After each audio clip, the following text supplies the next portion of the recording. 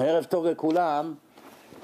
אה, היום נדבר בנושא שכולנו חייבים לשמוע אותו, האמת יום יום, לא פעם בשנה, אבל עדיף קצת מאשר כלום.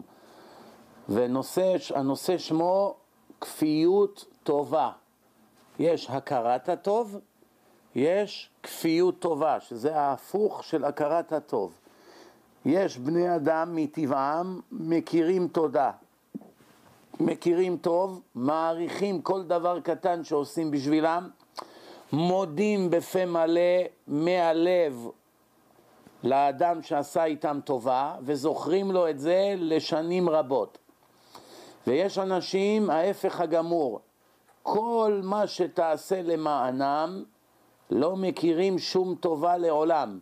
אפילו תבוא אחרי עשרים טובות שעשית בשבילם, תבקש טובה קטנה, ינסו להתחמק ממך, ממך במסגרת מה שאפשר, לא תמיד הם יכולים, אבל ינסו להתנער ממך בכל דרך אפשרית. ויש אנשים, היינו חושבים שאלה כבר אלה הכי גרועים, אתה נותן להם טובה והם מחזירים לך כלום, אז היינו חושבים זה כפוי טובה, אבל יש אנשים הרבה יותר גרועים. מה הפירוש? כל מה שתעשה בשבילם טוב, ככל שתרבה לעשות איתם יותר טוב, כך הם שואפים יותר לרמוס ולהרוס אותך. תשאלו אותי, מי מסוגל לעשות כזה דבר? מילא סוציומט, אגואיסט, לא אוהב להחזיר טובה תחת טובה, מבינים. אולי לפעמים הוא עצלן, לפעמים הוא קמצן, לפעמים יש לו זיכרון קצר, לפעמים עשית לו גם דברים אחרים שלא מוצאים חן בעיניו, לפעמים הוא סתם קנאי, לפעמים זה אשתו שלא נותנת. אז יש לפה ולשם קצת תירוצים כדי לרכך את, ה, את חומרת העניין. אבל איך ייתכן שאדם שעשית לו טובות, לא רק שלא ישיב לך שום טובה, אלא יעשה כל שביכולתו לתקוע לך סכין בגב. איך זה ייתכן? התשובה היא, באו פעם לגאון מווילנה, אמרו לו, כבוד הרב, יש איזה אחד מדבר עליך הרבה לשון הרע. ענה לו הגאון מווילנה, מעניין, אני לא זוכר שעשיתי לו איזה טובה. מה הוא אומר לו, מה הוא עונה לו? אומר לו, כבוד הרב, יש איזה אחד פה מרחל עליך, מדבר עליך לא טוב. מה הוא ענה לו? מעניין, אני לא זוכר שעשיתי לו איזה טובה. זאת אומרת, בתשובה של הגאון מווילנה, אף על פי שזה נאמר ככה על חצי הלצה, אבל יש כאן מוסר השכל עמוק מאוד. מה אומר לו הגאון מווילנה? תלמד יסוד בחיים. שימו לב, בחצי משפט שהוא ענה לו, יש יסוד שלם בחיי היום-יום שלנו פה בעולם הזה. למי שמבין. מי שעמקן, הוא מבין מפשוטם של דברים את עומקם. מי שאין לו דרך לחקור ולעיין, אז ממילא הוא לא משיג כלום בחיים שלו, בכלום. לא רק בתורה וביראת שמיים, אלא גם בחיי היום-יום שלו אין לו שום דבר. מי שאדם שקפדן ופדנט ועמקן ובודק את הפרטים ורואה את הנולד, בדרך כלל אנשים כאלה מצליחים בכל. מי ששטחי והכל אצלו מה שנקרא בארץ חפיף, כל החיים שלו נראים חפיף, גרוש ארבע פעמים, ילד פה, ילד שם, לא זוכר איך קוראים להם, יום אחד דופק לו איזה ילד עם עגיל באוזן, אני בן שלך, הכל אצלו חפיף בחיים, אין לו, הראש שלו מלא בקש, אין לו כלום, איזי פס. בקיצור, שומעים? אז מה הנקודה? אומר לו הגאון מווילנה, תלמד יסוד, בין הדברים אפשר להבין מה שהוא ענה לו. בעולם הזה הקדוש ברוך הוא ברא מלאך שנקרא שטן. תפקידו של השטן הוא להפריע כמה שיותר לבני האדם לעשות מצוות, יהודים וגויים. אצל הגויים זה הכל בקטן, יש להם שבע מצוות בני נוח, אז ממילא אם הם עושים את השבע מצוות, יש להם עולם הבא בצורה מצומצמת יותר. ואם הם חוטאים, אז הם מקבלים עונשים לפי מה שהם חייבים. אצל היהודי הכל בגדול, יש לו תרי"ג מצוות, 613 מצוות, אף על פי שרובם לא בתוקף היום כיוון שאין לנו בית המקדש, על כל פנים ליהודי המשימה היא הרבה יותר גבוהה, השכר הרבה יותר גבוה, אך כשם שהשכר הרבה יותר גבוה, כך העונש הרבה יותר גדול, כי מצפים ממך להרבה יותר. למה הדבר דומה? אבא שיש לו שני ילדים, אחד גאון, אחד פלגמט. עכשיו הגאון הזה, אבא שלו מצפה ממנו המון. אם הגאון קיבל 90 בבחינה, האבא מאוד מאוכזב, עוד נותן לו עונש. אומר לו, מה שהבטחתי לך, אני יודע שאם תהיה כך וכך, אני אתן לך כך וכך כסף, אני חותך לך את זה בחצי. למה אבא, מה קרה? אתה לא רציני, נכשלת. מה נכשלתי? הוצאתי עם ציון הכי גבוה בכיתה, 90. יכולת להוציא 100 בקלות עם קצת מאמץ. נותן לו עונש. בא החפלגמט, הוציא 60. עושים לו מסיבה, מדליקים נרות, עוגה. אומר לו, איזה, מה זה אפליה? מה, אפליה? אומר לו, אבא, ממך מצפים. הוא, 60 בשבילו זה הישג כביר. מעריכים את זה מאוד, כי יודעים, לפום צער האגרא, לפי הצער ככה שכר. לך איזה צער היה? לא התכוננת לבחינה, כן? אז ממילא הגאון מווילנה אמר לו, תדע כלל, השטן תפקידו להחטיא את האדם, אבל השטן לעולם לא מסתפק בהחטאה קטנה. השטן מנסה כמה שיותר, כמו הילדים להבדיל. ילד בא לאבא שלו, אני רואה את זה אצלי, אבא, כן, a candy? אומר לי, אני יכול לקבל סוכריה? אני אומר לו, בבקשה, קח. אומר לי, כן, אני יכול לקחת שניים? הוא מגשש, לראות. אומר שניים. אני אומר לו, כן, קח שניים. הוא אומר, אני רוצה גם בשביל מוישי. כבר נהיה ארבע. אומר, רגע, ואתה יודע מה, אולי אני באמת לא רוצה את הקנדי, אני רוצה גלידה. קפץ לגלידה. למה? פיקח. הוא יודע, תפסת מרובה, לא תפסת. אם הוא יבוא ישר על גלידה, עלולים להגיד לו לא. הוא אומר, קודם כל, קח מה שנותנים. תשריין. ילד קטן, אבל פיקח. רק להבדיל, להבדיל, השטן אותו דבר. הוא בא לאדם בלהחטיא אותו בדבר קטן. אם הצליח, לפתח חטאת רובץ. הגמרא אומרת, לשטן יש שבע שמות, אחד מהם זה חטאת. לפתח חטאת רובץ. רק פתחת לו פתח, מיד הוא חופר לקחת פתח יותר גדול, ועוד ועוד עד שגומר אותך לגמרי. כמובן הוא לא בא אליך ישר בפצצת אטום, קודם כל הוא בא עם סכין, אחר כך חרב, אחר כך אקדח, אחר כך רובה, אחר כך מכונת ירייה, אחר כך טיל, בסוף פצצת אטום. הוא לא בא ישר עם פצצת אטום, קודם כל הוא רואה איפה אפשר. אם הוא יציע לך עבירה, אומר לך, לך תלך עם אשת איש, לא יעלה על דעתך לעשות כזה מעשה נבלה. אז מה הוא אומר לך? מתחיל איתך בלדבר איתה קצת. דבר איתה קצת על הפוליטיקה, על הבחירות, על מזג האוויר, אחר כך דבר איתה על זה, אחר כך תיתן לה טרמפ, אחר כך תזמין אותה לאיזה יום הולדת, עד שכעבור כך וכך חודשים איבדת את העולם הבא שלך. לא הלך השטן ישר למשימה מאה אחוז, הוא מתחיל בקצת קצת. לגויים יש זרע למטלה? לא. אצל יהודים יש, אצל גויים אין. בקיצור, שומעים מה קורה פה עכשיו. אז השטן, הוא משיג מה שרק אפשר. עכשיו, לפעמים השטן רואה שאדם נעול בדעתו לעשות מצווה גדולה, כגון הוא בדרך ללמוד תורה בישיבה. כל שנייה שלומדים תורה זה מצווה. כל אות שיוצאת לך מהפה זה מצווה בפני עצמה. אתה יכול לעשות אלפי מצוות. בן אדם בשעה עושה אלפי מצוות בלימוד תורה. עכשיו השטן בפניקה. זה הדבר שהוא מתוכנת למנוע. שהקדוש ברוך הוא שברא את השטן תכנת אותו להפריע לבני האדם בקיום המצוות.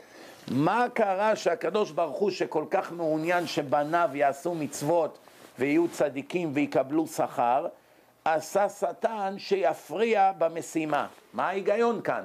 מה, הוא יורה לעצמו ברגל? התשובה היא, אם לא תהיה התנגדות, לא מגיע לך שכר. אם, אף, אם אדם אין לו יצר הרע, אין לו התנגדות, הכל אצלו הולך בקלות, הכל, הכל אצלו הולך בקלות, אם ככה ממילא, אם הכל אצל האדם הולך בקלות, ממילא לא מגיע לו שכר. תארו לכם שאדם היה משתוקק לשבת כל החיים ללמוד תורה ואין לו שום הפרעה. מכור, לא יכול דקה להפסיד תורה. תיקח ממנו את התורה, הוא יושב ובוכה מרוב צער. אחד כזה מגיע לו שכר על זה שהוא לומד תורה, איזה השקעה הייתה לו? למה הדבר דומה? לאחד שאוהב לעשות עבירות. אחד שרץ ומכור לעבירות. אומר לך, תן לי שכר. על מה אתה שכר? על זה שהוא עושה את התאוות שלו. מגיע לך שכר? איזה שכר מגיע לך? אבל אדם שנלחם ביצרים שלו, מגיע לו שכר. אומר לך הגאון מווילנה, תדע טוב. השטן תמיד משתוקק להפיל אותך כמה שיותר עמוק. ממילא, אם עכשיו הוא רוצה להביא אותך למדרגה שתהיה כפוי טובה, שתכפור בטובה שחברך עשה עבורך, איזה מהחברים שלך הוא מעדיף שתכפור בהם? אחד שעשה לך טובה קטנה, או אחד שעשה לך הרבה טובות גדולות? אחד שעשה לך טובה קטנה, הביא לך כוס מים.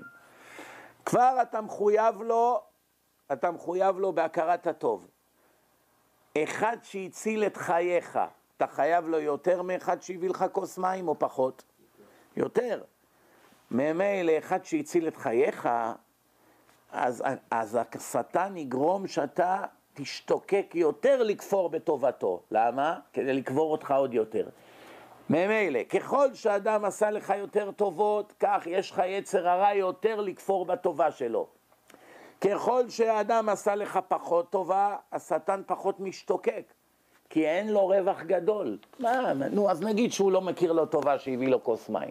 זה לא עבירה כל כך גדולה, big deal, כוס מים. אבל נותן לו כסף עשרים שנה שיהיה לו מה לאכול. אם אני מפיל אותו במלכודת הזאת, שהוא יתקע לו סכין בגב, ממילא הוא איבד את העולם הבא שלו. הוא מגיע ליום הדין, הקדוש ברוך הוא יגיד לו, תתבייש לך, כפוי טובה, חצוף שכמוך. עשרים שנה האדם הזה האכיל אותך, בסוף הלכת, פרסמת עליו לשון הרע ברחוב, הרסת לו את החיים, ממילא העונש הוא פי מיליון יותר גרוע. והשטן השיג את תפקידו. עכשיו, השטן הוא לא בן אדם כמונו, הוא רובוט. הקדוש ברוך הוא תכנת אותו, הוא לא חורג מסמכותו. מה שהשם תכנת אותו כמו רובוט, ככה הוא עושה. אף על פי שבגמרא יש רמזים שלשטן גם כן יש רגשות. אמנם מלאך הוא רובוט והוא עושה כל מה שהשם עושה לו, אבל המלאך, השטן על כל פנים, יש לו רגשות.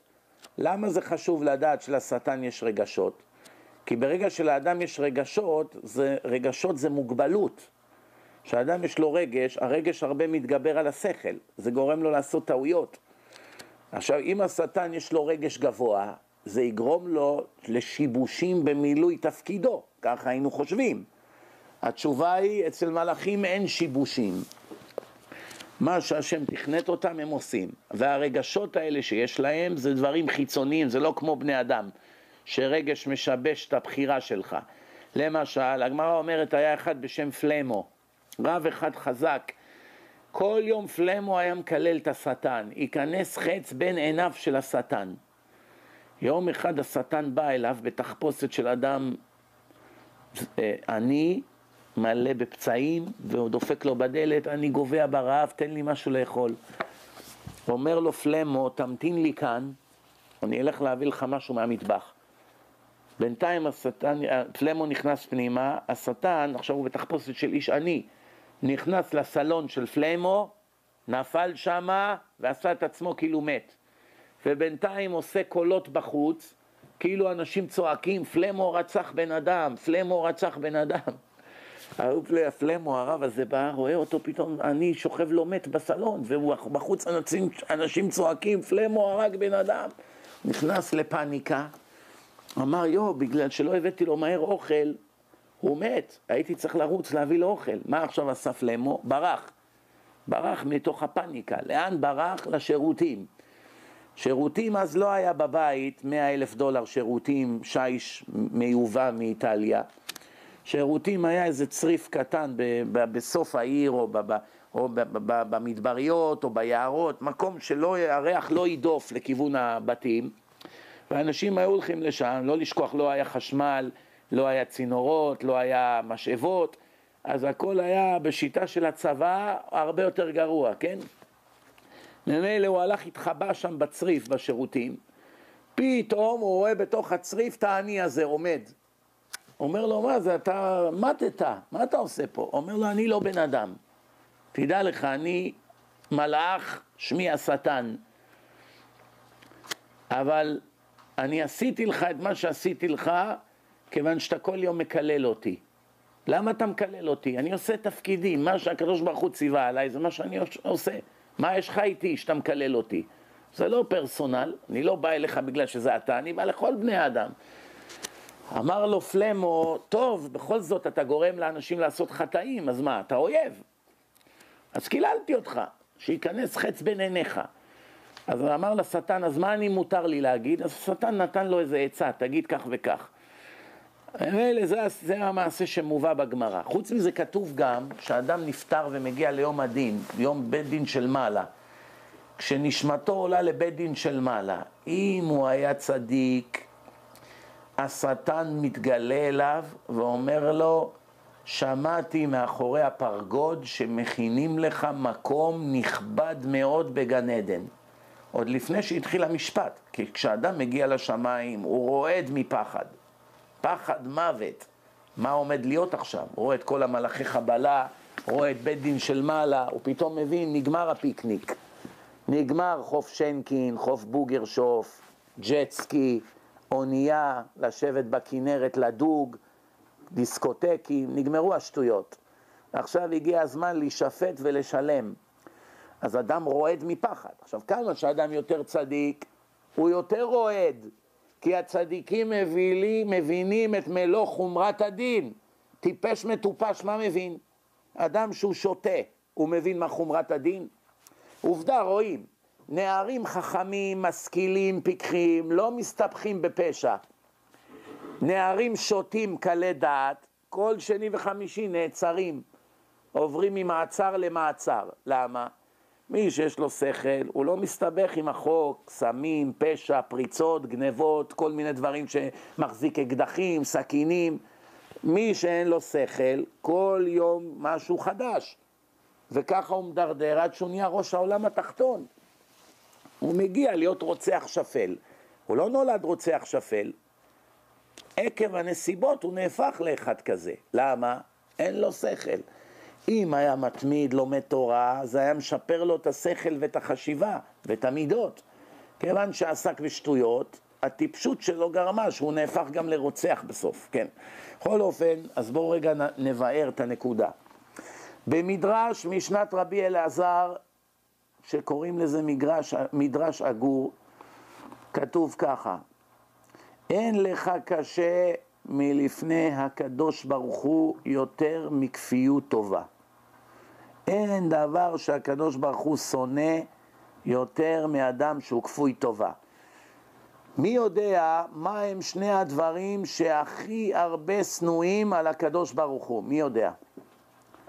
שני הדברים שהקדוש ברוך הוא שונא הכי הרבה. הנה, הכינו לכם פה שתי מקומות, בדיוק פה. שנאת חינם. לא, מה הדבר שהקדוש ברוך הוא שונא הכי הרבה אצל האדם? אצל האדם, לא אצל עם ישראל. אחד אמרנו, כפיות טובה. שתיים, גאווה. גבה לב, אותו לא אוכל. גאוותן, הקדוש ברוך הוא לא סובל אותו. לא סובל אותו. ולשון הרע גם לא. גם לשון הרע זה רע, אבל גם כל הדברים, זימה, לשון הרע, חילול שבת, הכל זה רע. אבל במידות כפוי טובה. וגאוותן זה דבר שהקדוש ברוך הוא לא מסוגל לסבול אצל האדם. יש הרבה דברים גרועים, כעסן, גם אותו השם כועס עליו, קמצן, רכלן, כל אלה זה דברים רעים, עצלן. אבל הגרוע ביותר זה גאוותן וכפוי טובה. עכשיו תכף נבין למה. אומר, אומר לך ככה, עד שלא הלך יעקב לארם נהריים, איפה זה ארם נהריים? כורדיסטן. אם שואלים אתכם מה היה היהודי הראשון, מי היה היהודי הראשון? אברהם אבינו. אברהם אבינו, מה היה? כורדי. עיראקי, בוא נתווכח. כורדי. עיראקי זה בבל, ארם נהריים זה כורדיסטן. מה זה ארם צובה? סוריה. יש סוריה, ארם צובה, יש ארם נהריים, יותר מדי הפרעות. זה לא שיש כאן מאות אנשים. לפעמים יש לי מאות אנשים בקהל ואין הפרעות. שיעור הבא מלא. כן, כן, שמענו. טוב, בקיצור, הרב נהריים. כן. בקיצור, כתוב ככה: עד שלא הלך יעקב לארם נהריים, היו המעיינות מצומצמים. הבארות היו יבשים, בקושי המים. תדע שהיו משכין מן הבורות, היו צריכים לחפור, בבארות היו יבשים, היו חופרים בורות עמוקים, שנאמר ונאספו שמה כל העדרים. באו כל העדרים למקום אחד, כיוון שלא היה לאנשים בבארות שלהם מים. כיוון שהלך יעקב לשם, הגיע יעקב למדינה הזאת, נתברכו כל המעיינות והרוויחו מימיהן. ואחרי כל הטובה שעשה יעקב לאביו, לאביו של מי? לאביו של בלעם. מי זה, איך קוראים לאבא של בלעם? איך קוראים לאבא של בלעם בן באור?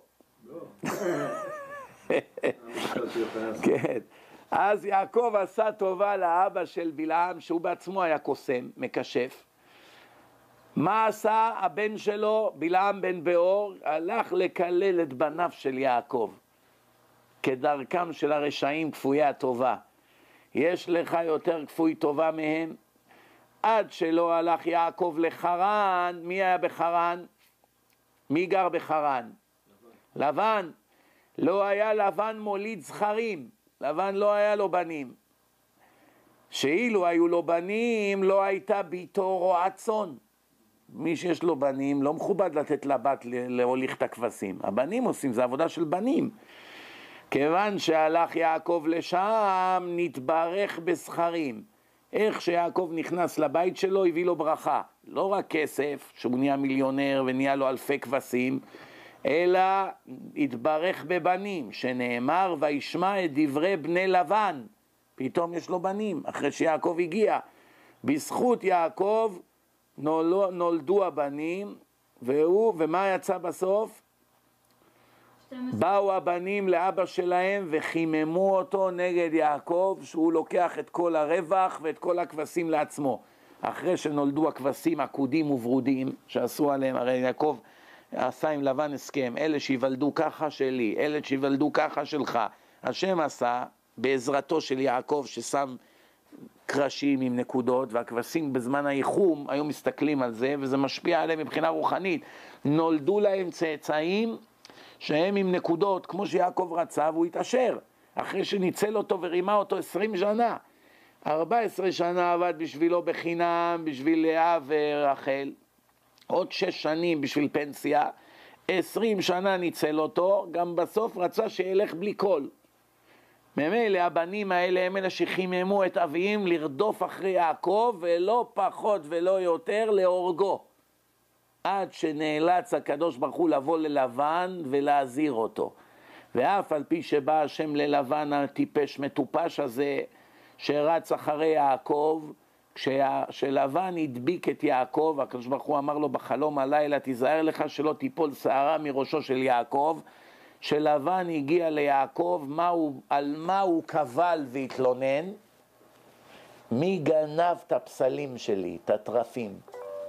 טיפש כמוך. הרגע הקדוש ברוך הוא דיבר איתך, בורא העולם, דיבר איתך, מזהיר אותך לא לגעת ביעקב. איך לא חשבת שאתה עובד אלילי מטופש? איך? השם דיבר איתך. אלא הרשעים על פתחה של גיהנום אינם שווים בתשובה. שומעים? עד כדי כך. איך יודעים כשבא צדיק לבית שלך, הבית שלך מתברך בזכותו? אולי זה סתם המצאה. לפעמים הדתיים הם אלופי העולם בהמצאות. לא כל הדתיים מדברים אמת כל מילה, לצערי הרב. הם אלופים בלהמציא צ'יזבטים וכזבים וסיפורי עליבאבא. לכן אני תמיד מזהיר את האנשים, כל דבר שאתה שומע, אתה צריך לבדוק את המקור שלו. יש לו מקור בתורה, בתלמוד, בראשונים, כגון רמב"ם, רש"י וכולי, שהיו ענקי עולם שידעו את כל התורה בעל פה, או בזוהר, בקבלה, אז מילא יש לנו מקור מוסמך. דברים שסתם בא איזה עליבאבא מקובל מזויף שמספר לך תשים עלים פה ותעשה שם ושים כסף פה, תבדוק אותו 70 אלף פעם. אתה לא יכול לדעת מי הוא ומה הוא ומאיפה הוא מביא את הדברים שלו. חוץ מזה יש הרבה אנשים שהם סתם טועים, הם לא רמאים. הם טועים, יש להם כל מיני סגולות שבאו מהאסלאם. באו מכל מיני אינדיאנים מקשפים, כל מיני דברים, אתה לא יכול לדעת מאיפה זה בא. כל עוד אין ראייה מוכחת שהדבר הזה לקוח מהיהדות, אסור לעשות אותו. ומי שלא שומע בכל הסגולות האלה, זה לא נקרא שהוא מזלזל באמונת חכמים. כי לפעמים החכמים בעצמם הוליכו אותם שולל. לא כל דבר שהחכמים חשבו שזה סגולה הוא באמת סגולה. צריך לבדוק שהסגולות האלה באמת באו מהארי הקדוש, באמת באו מהזוהר, באמת באו מעם ישראל ולא באו מהגויים. כי למשל, הגמרא מראה שהגויים היה להם כל מיני כשפים, והכשפים היו עוזרים. למשל, הגמרא אומרת, אם אתם שמעתם פעם, היה אחד פה באמריקה, קראו לו בנג'מין פרנקלין. הוא היה, הוא היה, הוא היה, פרנקלין היה על השטר של המאה דולר הישנים, לא הישנים, הלפני ישנים.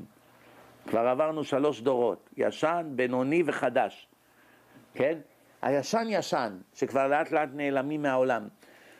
מי הוא היה בנג'מין פרנקלין? חושבים הרבה אנשים שהוא היה נשיא ארצות הברית. הוא לא היה נשיא ארצות הברית, הוא היה פוליטיקאי מדופלם. הוא חי בערך לפני 250 שנה, ואיך הוא התפרסם? הוא היה מדען. הוא גילה, לכאורה, שחשמל, שמכת ברק מכה, היא מכה במקום הכי גבוה בעיר קודם. לכן, איפה שיש ברזל זה מגנט. היא הולכת למקום של הברזל. עכשיו, אם אתה רוצה להציל את חיי התושבים, תדאג שיהיה לך אנטנה גבוהה באיזשהו מקום, איזה, איזה עמוד ברזל, ותפזר כל מיני, כמה שהוא יהיה יותר רחב, יותר טוב.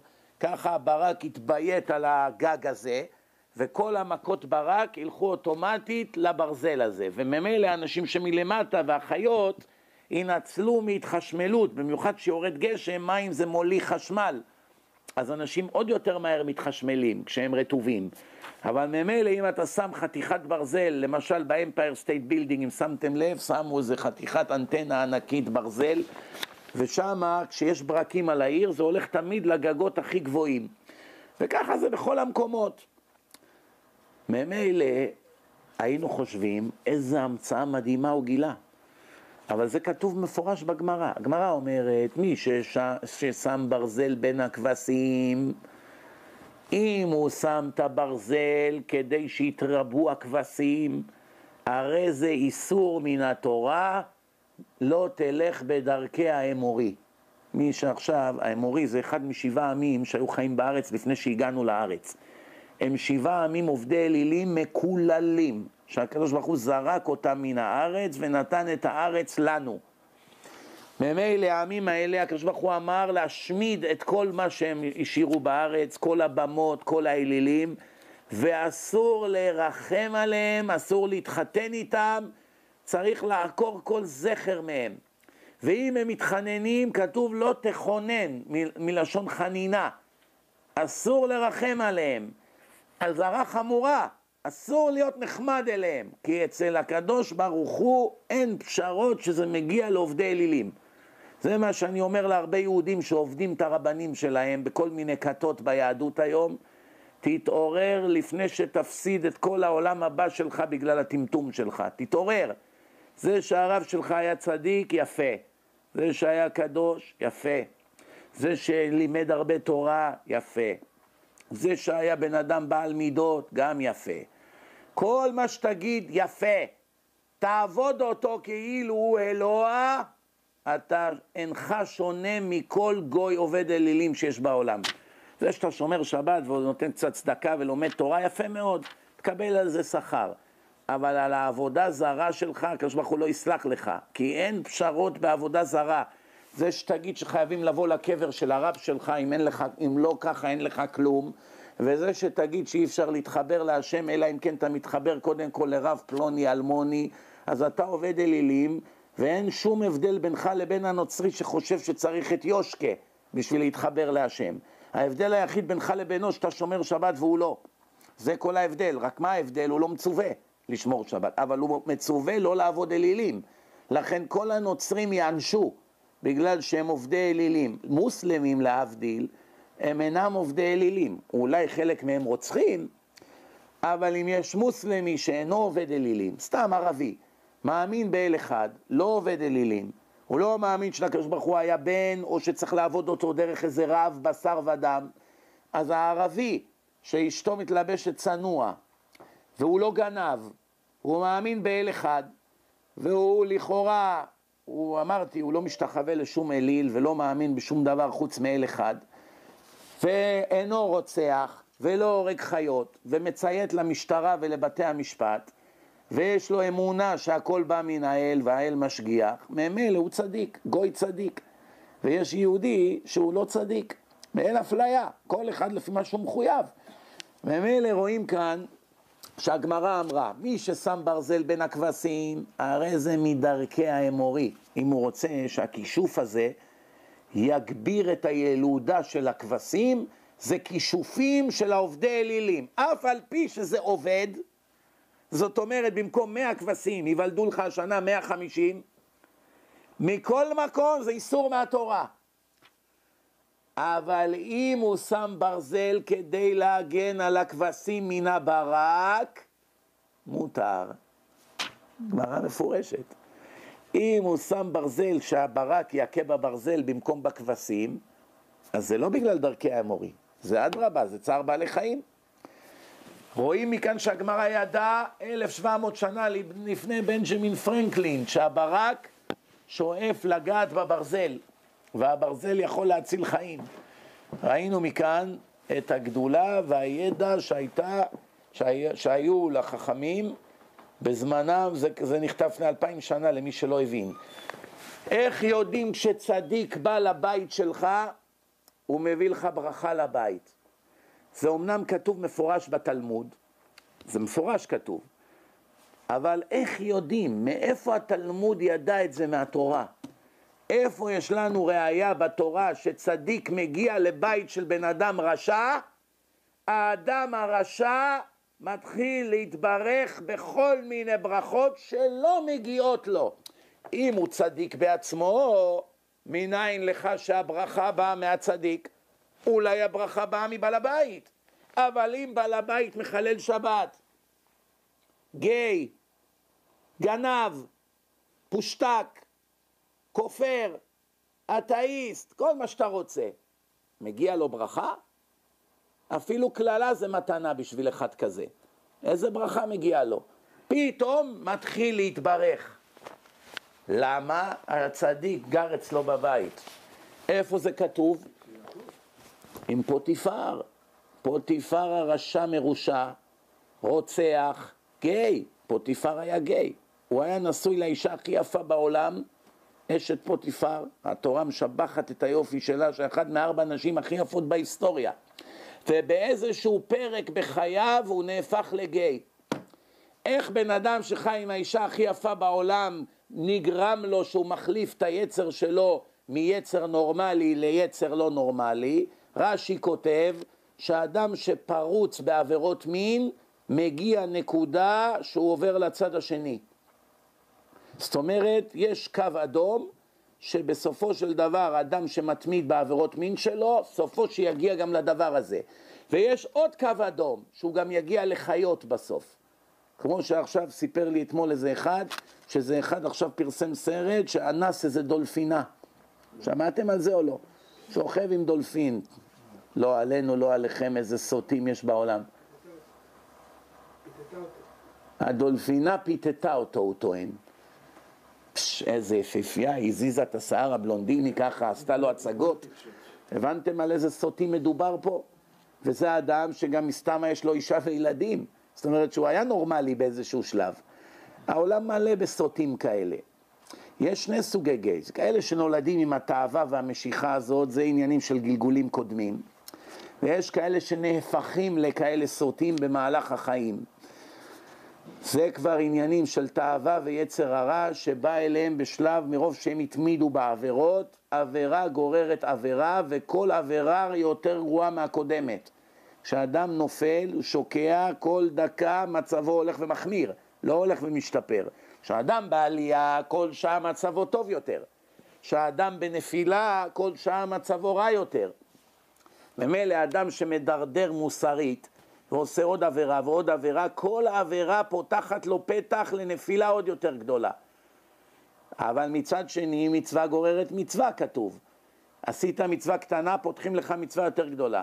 אני לא אשכח פעם אחת, בחול המועד סוכות לפני 15 שנה, ישבתי בסוכה עם הספרים, פתאום אני מקבל טלפון מבת דודה שלי, שהיא בכלל חיה בפריס, אז באותה תקופה. הבת דודה הזאת שלי, שמאז שהייתי נער לא ראיתי את פניה בכלל. היום אני מעריך שהיא בת, אה, נגיד, 55 בערך. היא הייתה אז בת 40, זאת אומרת כמעט 20 שנה לא ראיתי אותה. אולי פעם אחת באחד הביקורים בארץ. היא חיה בפריס, אני חי בניו יורק, המעשה הוא בכלל בישראל, היא מטלפנת לי מישראל. מה הביא אותה לטלפן לי אחרי שנים? אני שולחת חברה שלי, בחורה צעירה, אני חושב היא הייתה בת 20-21 הבחורה הזאת, אני שולחת אותה עכשיו דחוף לניו יורק, מה קרה? אני צריכה שתעזור לה. אתה הדתי היחידה שאני מכירה בניו יורק. נו, מה את צריכה? הבן דוד שלה, תימני אחד, התחתן עם איזה גויה נוצרית ומת מוות בגיל צעיר, אין לו ילדים כמובן, הכוונה גם אם היה לו ילדים הם לא ילדים שלו, במקרה הזה בכלל אין ילדים, והגויה עומדת לקבור אותו תוך כמה ימים בקבורה נוצרית. והבת דודה הזאת שלו לקחה ללב שהבן דוד שלה התימני הזה יגמור בבית קברות של נוצרים באמריקה. היא קיבלה על עצמה לקנות כרטיס טיסה, לבוא לאמריקה, ואיכשהו, היא בכלל לא דתייה, היא בעצמה חילונית, איכשהו לדאוג שהתימני הזה יובא לקבורה בקבר ישראל. זו משימה לא קלה. מילא אתה איזה רב שבקיא, מכיר אנשים, חברת קדישא, בכמה טלפונים אתה פותר את הבעיה. קצת אוספים כסף, שמים מודעה שניים בבית הכנסת, אנשים תורמים, קונים לו קבר, תוך יום-יומיים מסדרים את הכל. אבל מי חילוני שלא מבין שום דבר בקבורה, לא מבין שום דבר בחברת קדישא, לא מבין שום דבר באמריקה, שומעים?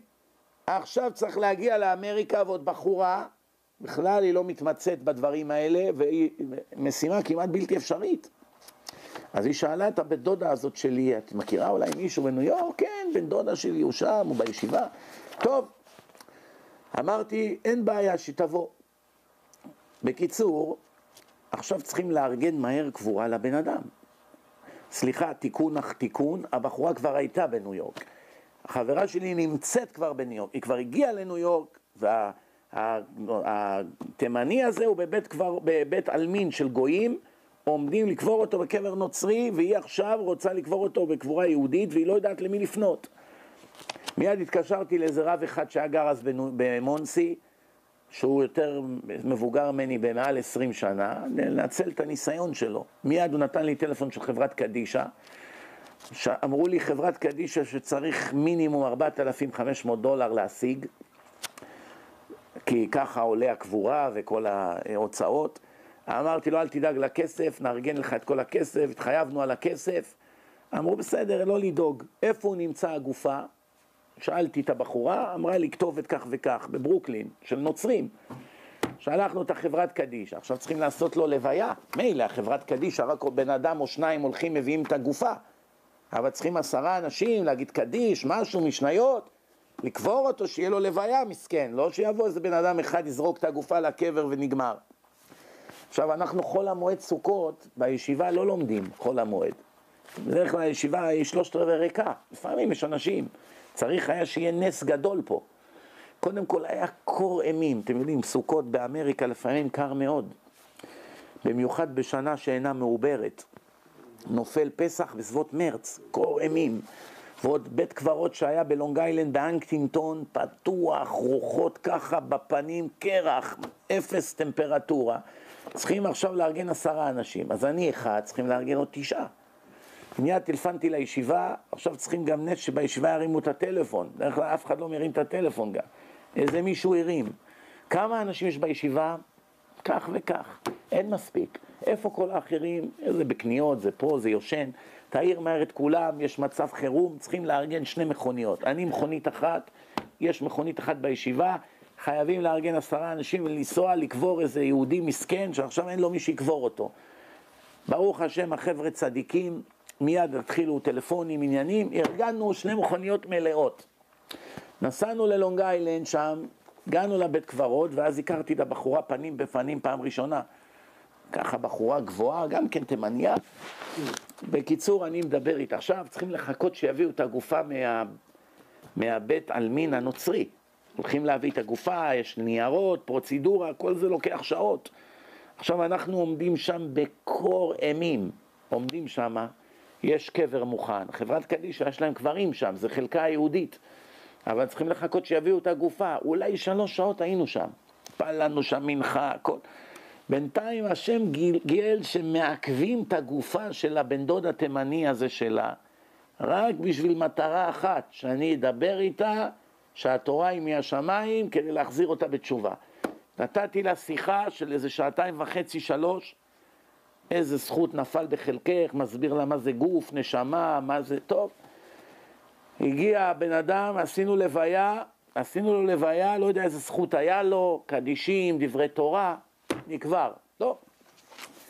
מיד אמרתי לבחורה, אין לך מה לחזור לארץ כרגע, אני מכניס אותך למדרשייה. יש לנו מדרשייה לבנות בברוקלין, תהיי שם כמה שבועות, תנסי. למרבה הפלא, היא לאות הכרת הטוב.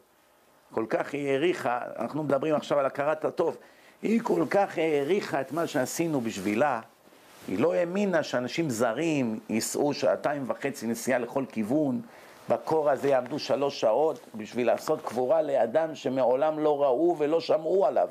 היא הייתה עמומה, היא אמרה, בעולם שלי דבר כזה כנראה לעולם לא היה קורה. כל... זה היה שילוב של כמה דברים. קודם כל היא הייתה מאוד מאושרת שהמשימה שלה הצליחה. שבאמת הבן דוד הזה נקבר בקבורה יהודית. אז היא כל כך הייתה מאושרת, ועוד עכשיו חפרתי לה בראש כמעט שלוש שעות, סמינר שלם. הסכימה, הכנסתי אותה למדרשייה, אחרי כמה שבועות אני בא, נותן שם דרשות, אני רואה משבוע לשבוע היא נהיית יותר ויותר צדיקה זאת. סופו של העניין חזרה בתשובה מלאה, התחתנה עם חסיד בלס צדיק, והכל בא על מקומו בשלום. חיים טובים ומאושרים יש לה. אמרתי לעצמי, תראה מה זה העולם הזה. הקדוש ברוך הוא נותן לחילוני שחי בעולם של חושך ותאוות ובכלל אין לו מושג מה זה יהדות ותורה. כמו שהיא הייתה במצבה כשהכרתי אותה. כלום, היא לא ידעה, מסכנה צעירה. נותן לו הזדמנות לעשות מצווה גדולה. והאדם הזה רוב המקרים אומר, עזוב, מה, בן דוד, בן דוד, למה התחתן עם גויה? מה, זה בעיה שלי, אני צריך עכשיו לקנות, לשלם אלפיים דולר הוצאות, לנסוע לאמריקה, לסדר לו לוויה? מה עכשיו זה ענייני? בעיה שלו, מה הלך להתחתן עם הפולניה הזאת? מצד שני, לא, איך אני אתן למסכן הזה שאין לו אף אחד שיגמור ככה? מרגיש חובה מוסרית.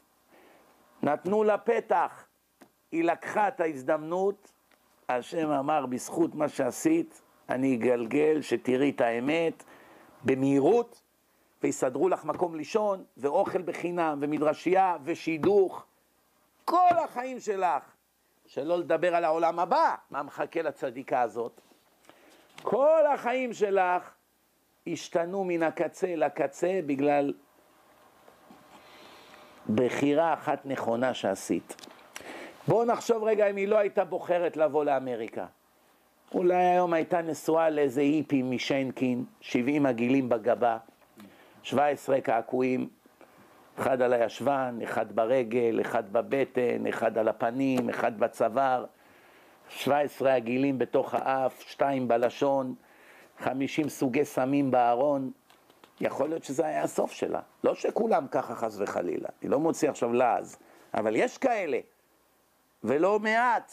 אני רואה אותם בכל פינה שאני הולך בעולם. אז היא יכלה, יכולה היום הייתה לגמור עם איזה אחד כזה, שניהם זרוקים מסוממים באיזה חוף בהודו. לא עולם הזה, לא עולם הבא. הייתה מגיעה לשמיים, היו מראים לה בואי תראי איך גמרת ואיך היית גומרת אם היית עושה את המצווה שנתנו לך לעשות. מה היא הייתה? היא הייתה הורגת את עצמה.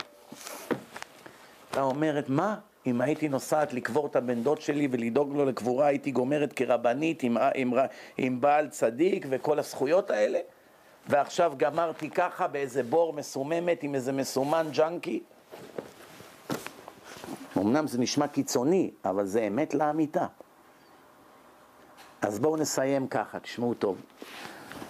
הוא אומר, יוסף הגיע לבית של פוטיפר. מה כתוב בתורה? שהקדוש ברוך הוא ברך את ביתו של הרשע הזה בכל מכל כל. כל הברכה בביתו בזכות יוסף. ויהי יוסף איש מצליח ויברך את אדוניו, ככה כתוב שם. זאת אומרת, המצרי, הגוי, הרשע, הגיי, כל מה שאתה רוצה, כל הכסף והעושר והכבוד שלו מגיע ממי? מיוסף. בן 17, ילד יהודי צדיק בן 17 עובד אצלו בבית. לא שהגוי עכשיו עשה לו איזה חסד, אסף אותו מבית יתומים ונותן לו אוכל ומקום לישון. לא, הוא משרת שלו, משרת שלו, והקדוש ברוך הוא אמר, עצם זה שהצדיק אצלך בבית, טבע, חוק בטבע, מקום שהצדיק נמצא יש ברכה. ככה היה עם הבבא סאלי, מי שהכיר את הבבא סאלי בדור שלנו, ראה שהבן אדם הזה יש עליו ברכה, כל מקום, כל דבר בחייו, היה לו ברכה, צדיק יסוד עולם. אנשים כאלה לא עשו עבירה אחת בשבעים שנה. לא סתם נהיו מה שהם נהיו, זה לא צחוק. נתקדם הלאה. אדם הראשון גורש מגן עדן אחרי עבירה של כפיות טובה. נתנו לו את הכל, כל העולם שלך, רק בעץ הזה אל תיגע, הלך וכפר בהשם. שהשם אמר לו, אכלת מן העץ, מה הוא ענה? אכלתי ואוכל שוב. זה מה שהאדם הראשון ענה להשם, זה לא כתוב בתורה, זה במדרש. מורשה לכתוב כזה דבר בתורה. מה אמר אדם להשם? זה לא אני השם, זה האישה שנתת עמדי, היא אשמה. הקדוש ברוך הוא נתן לאדם הראשון את האישה הכי יפה בהיסטוריה. אם על שרה ועל אשת פוטיפר אומרים שהם היו מארבע נשים הכי יפות בעולם, תארו לכם איזה יפהפייה הייתה חווה. כי מה ההבדל בין אשת פוטיפר לחווה או בין שרה לחווה? שסוף כל סוף הם ילודות מאישה. נולדו מאישה בשר ודם. כמה כבר יופי יכול להיות לאדם שנולד מבני אדם, לעומת אחת שהשם עיצב את היופי שלה. מציפורן? השם עיצב את היופי של חווה. ממילא מה רואים מכאן? שחווה הייתה סופר יפהפייה. מה, ש... מה האדם הראשון אומר לחווה, לקדוש ברוך הוא? זה לא אני השם, האישה שנתת לי, אתה השם, מה נתת לי את האישה? בגללה חטאתי. למה הדבר דומה? תשמעו טוב. פעם אחת היה רבן אה, גמליאל, הבת שלו, הקיסר בא אליהם, אמר להם, אלוקיכם גזלנו. הקדוש ברוך הוא שלכם הוא חס וחלילה גנב. אמרו לו, איך הגעת למסקנה המעוותת הזאת? אמר, הקדוש ברוך הוא הפיל תרדמה על האדם והוציא ממנו צלע בלי רשות. לא שאל אותו אם הוא מוכן לתת צלע מהגוף. זה גנבת איברים. במילים אחרות, פרופסור היס, המבין יבין. אז אמר לו, אמרה, הבת של רבן גמליאל לאבא שלה, תן לי להשיב לו תשובה.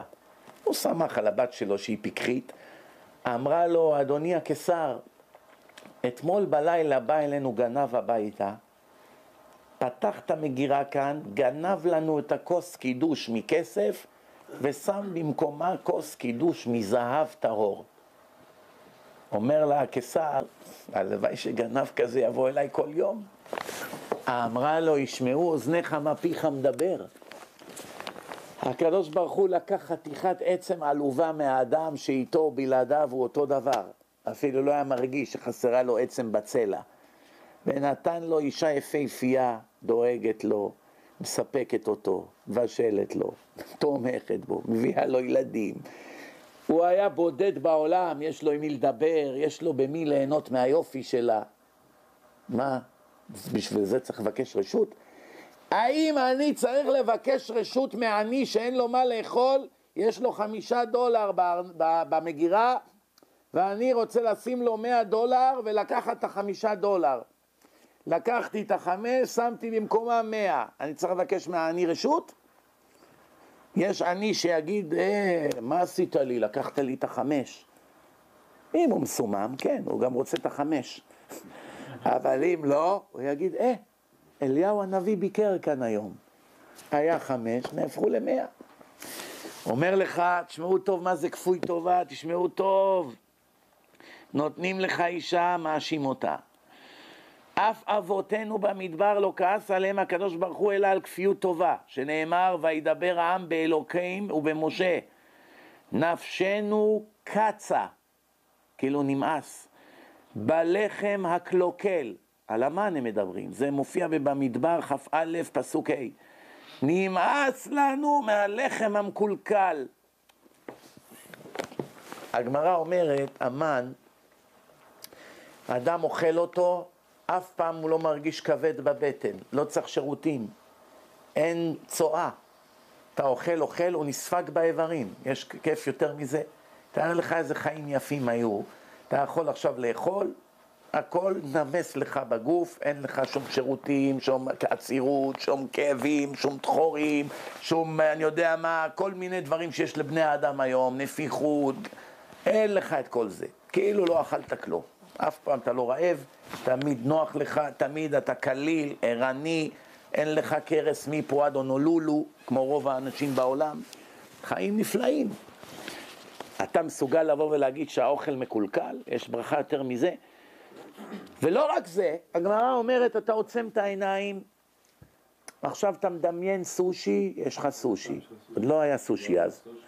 אתה מדמיין סטייק, יש לך סטייק. אתה מדמיין כבש, אתה, כל מה שאתה מדמיין, אתה מרגיש את הטעם שלו. זה לחם רוחני. איזה ברכה בירכו על המן? המוציא לחם מן השמיים. יש דעה כזאת שהיו צריכים לומר שהכל, אבל יש דעה בגמרא, המוציא לחם מן השמיים. בכל אופן, באו בני ישראל ואומרים להשם, נמאס לנו מהלחם הקלוקל הזה. מה? מה, מה הפריע להם בלחם?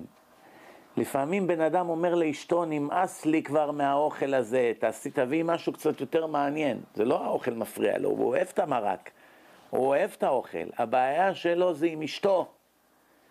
יש לו בעיה עם אשתו, השמינה 20 קילו בחודשיים האחרונים. הוא לא יכול עכשיו להתווכח איתה, הוא יודע שזו נקודה רגישה אצלה, המשקל. אז את העצבים שלו הוא מוציא על המרק שהיא עושה. אוף, המרק הזה עוד פעם, אוף, למה יש פה, אוף, אבל זה לא הבעיה האמיתית. הרבה פעמים אדם בא בוכה על בעיה א', אבל מה שמפריע לו זה בכלל בעיה אחרת לגמרי. רק מה, צריך להיות חכם גדול, רב גדול, חכם גדול בתורה, כדי לרדת לעומקו, לשורש הבעיה. למשל, הרב שך היה ידוע בזה. בא אליו איזה אחד, אומר לו, כבוד הרב, תראה את הרב פלוני אלמוני, עזב את הישיבה שלי, פותח לי ישיבה עכשיו חצי קילומטר ממני, הוא מוציא אותי out of business, עוד מעט אני אפשוט רגל, יעזבו אותי כל התלמידים. למה הוא עושה כזה דבר? אני מבקש ממך, תקרא לו לשיחה בעולה, תשכנע אותו לא לפתוח ישיבה מתחרה. הוא כבר מדבר עם כל העשירים, תעזרו לי. הלך הרב שח לכספת, הוציא חבילה של עשרת אלפים דולר, הוא בא אליו, אומר לו, הנה, שיהיה מזל וברכה. ההוא, הפנים של איוב, תשעה באב, התחלפו בפנים צוהלות. לקח את העשרת אלפים דולר, קם, נשק לו את היד ויצא. אומר לו העוזר שלו, סחייק, אומר לו, כבוד הרב, הוא בא לדבר איתך על א', מה אתה עונה לו בכלל? תן לו כ... הוא בא, אומר לך, תדבר עם ההוא שלא יפתח ישיבה, מה עשית עכשיו שנתת לו תרומה?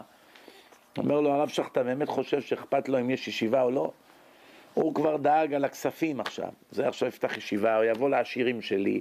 העשירים, מה שנותנים לי, ייתנו לי חצי, ייתנו לו חצי. נתתי לו עשרת אלפים, אז זה היה המון כסף, זה כמו נגיד שלושים אלף דולר. הנה, קח כבר שנה, שנתיים, אתה מסודר, אל תדאג. ראית איך הוא נרגע מיד. זאת אומרת, הוא ירד לשורש הנקודה. יכול להיות שההוא היה אומר לו, לא, לא, כבוד הרב, מה פתאום, אני לא באתי של כסף, אני לא לוקח את זה, זה לא מה שמפריע לי הכסף, אני לא רוצה להפסיד תלמידים. אז היינו רואים שהרב טעה בשיקול דעתו, אבל במקרה שלו לקח וברח.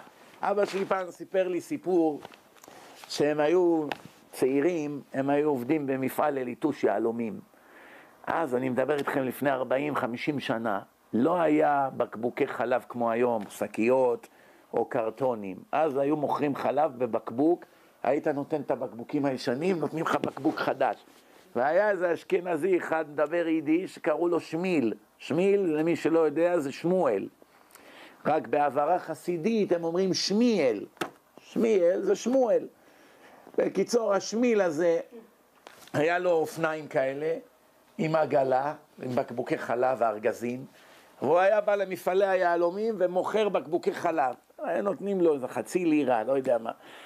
אבא שלי מספר מעשה שהיה, שיום אחד הוא הביא חלב חמוץ. ביום שלפני הוא הביא חלב חמוץ, אחד שתה איזה כמעט תיקי. אז למחרת שבא שמיל, חיכו לו, יודעים שהוא בא בערך בשעות האלה. איך שהוא הגיע למפעל, הפועל ההוא ששתה את החלב החמוץ, לקח את החלב החמוץ ושפך את זה מהחלון מקומה שלישית ישר על הראש שלו למטה. הוא הרים את הראש ככה, כולו נרטב מהחלב המקולקל, עם הסירחון של זה, איך אומרים? חמתו בערה בו. התחיל, אז לא היה מעליות גם, התחיל לרוץ, יש עכשיו איזה דקה וחצי עד שהוא יגיע לקומה שלישית, הוא רץ. עכשיו הפועל נכנס ללחץ, אומר וואו, לא, הוא לא, לא הבין שהוא ייקח את זה כל כך קשה. אבא שלי אמר לו אל תדאג. איך ששמיל הזה נכנס, אבא שלי הוציא, נגיד, לא זוכר, חמש לירות, שתי לירות, לא משנה הסכום, העיקרון. אומר לו, שמיל, הנה פיצויים. אומר אבא שלי, היית צריך לראות איך הזעם שלו התחלף בחיוך ממזרי, לקח את הכסף, יום טוב לכם, כאילו לא קרה שום דבר. איך אומרים? לכל דבר יש מחיר. בקיצור, אז הוא אומר כאן, תשמעו טוב, אומר, באו, אומרים, נמאס לנו מהלחם הקלוקל, למה? אדם לא רק נהנה מהטעם של האוכל, אלא נהנה מהצבע ומהצורה ומההרגש של האוכל. מה, מהנגיסה, מהלעיסה, מהצבעים של האוכל ומהצורה של האוכל. זה משפיע לו על המוח. אם אדם עיוור, הוא לא נהנה מהאוכל. תבדקו, עיוור לא נהנה מהאוכל. הוא לא רואה צבעים, בחיים שלו לא ראה צבעים, הוא לא נהנה כמו אדם. ואם אדם יש לו בעיה, הוא גם עיוור וגם לא מריח, הוא בכלל לא יכול לטעום את הטעם של האוכל. ואם אתם לא מאמינים לי, אני אספר לכם מסע שהיה אצלי. גם כן היה בסוכות, היו לי אורחים בסוכה, אחד מהם אומר לי, אתה יודע, אני עכשיו יכול להוכיח לך שאתה לא תדע להגיד את ההבדל בין קולה, קינלי, לימונדה וסודה. אמרתי לו, מה? אני לא ידע להבדיל בין סודה לבנה לבין קוקה קולה, איך יקרה כזה דבר? אומר לי, תביא לי מטפחת ותראה. מת... הביא מטפחת, קשר לי אותה על העיניים, סגר לי את האף. מחזיק לי ככה את האף, אומר עכשיו אני אתן לך לטעום ואתה צריך להגיד מה אתה טועם. אני טועם, אומר לו קינלי, כולם צוחקים בסוכה. נותן לי עוד לטעום, אני אומר לו זה נראה לי כמו סודה, כולם צוחקים. קיצור, בכל הטעימות טעיתי. אין, לא, כולם אותו טעם. לא מאמינים? תנסו את זה בבית. זה מותר לנסות בבית. תדמו, תסגור לך את העיניים ואת האף, תן למישהו לתת לך לשתות כל מיני משקאות, אתה לא טועם כלום. לי יש חבר שהייתה לו תאונת, הוא טבח, הייתה לו תאונת דרכים, ואין לו חוש ריח יותר, נהרס לו חוש הריח. הוא, לפעמים הוא מבשל כאילו שאתה אוכל סוכר עם כפית. הוא שם מלא סוכר, לפעמים בכלל אין סוכר, בכלל אין, אין לו כלום. הוא לא מרגיע, אז אמרתי לו, איך זה פעם ככה ופעם זה ככה? אומר לי, אני לא יכול לטעום. אם יש מישהו שיטעם, אני סומך עליו, יש כאלה אוהבים מתוק. כל פעם יוצא אחר, הוא עצמו לא יכול לטעום. רק בגלל שאין לו חוש הריח, תראו מה זה, חוש אחד נפגע, זה פוגע. בקיצור, תשמעו דבר מדהים. אז הם, הם מתלוננים לא על הטעם, טעם יש במן. אין לזה הנאה, כל פעם אותו צורה, כל פעם נראה ככה כמו פופקורן נמאס, כל פעם. זה אחד החסדים שהקדוש ברוך הוא עשה איתנו. כל אוכל יש לו צורה אחרת, אננס, אבטיה, כל צבעים, טעמים, הרגשה שונה בפה.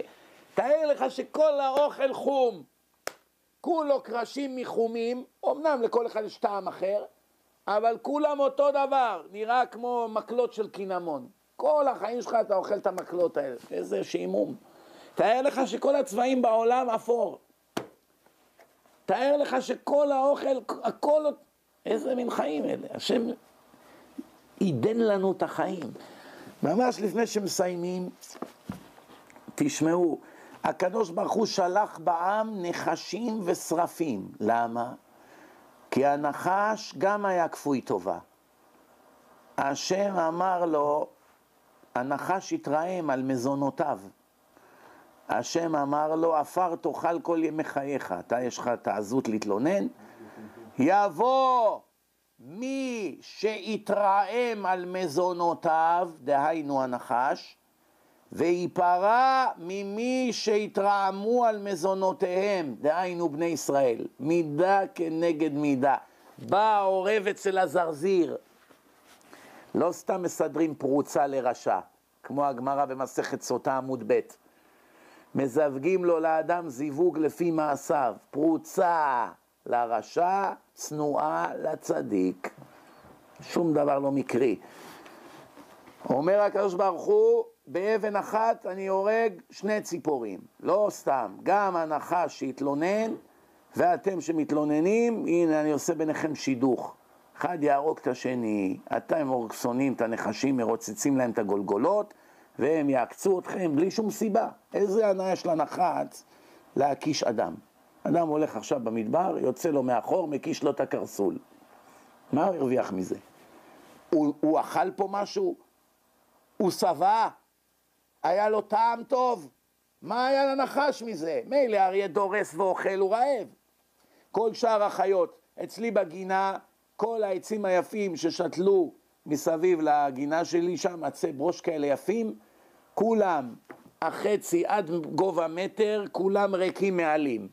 ממטר והלאה, עצי ברוש יפהפיים. כל המטר האלה סתם מקלות ריקים מעלים. למה? הצבעים באים ואוכלים את כל העלים. הם רק מגיעים עד גובה מטר.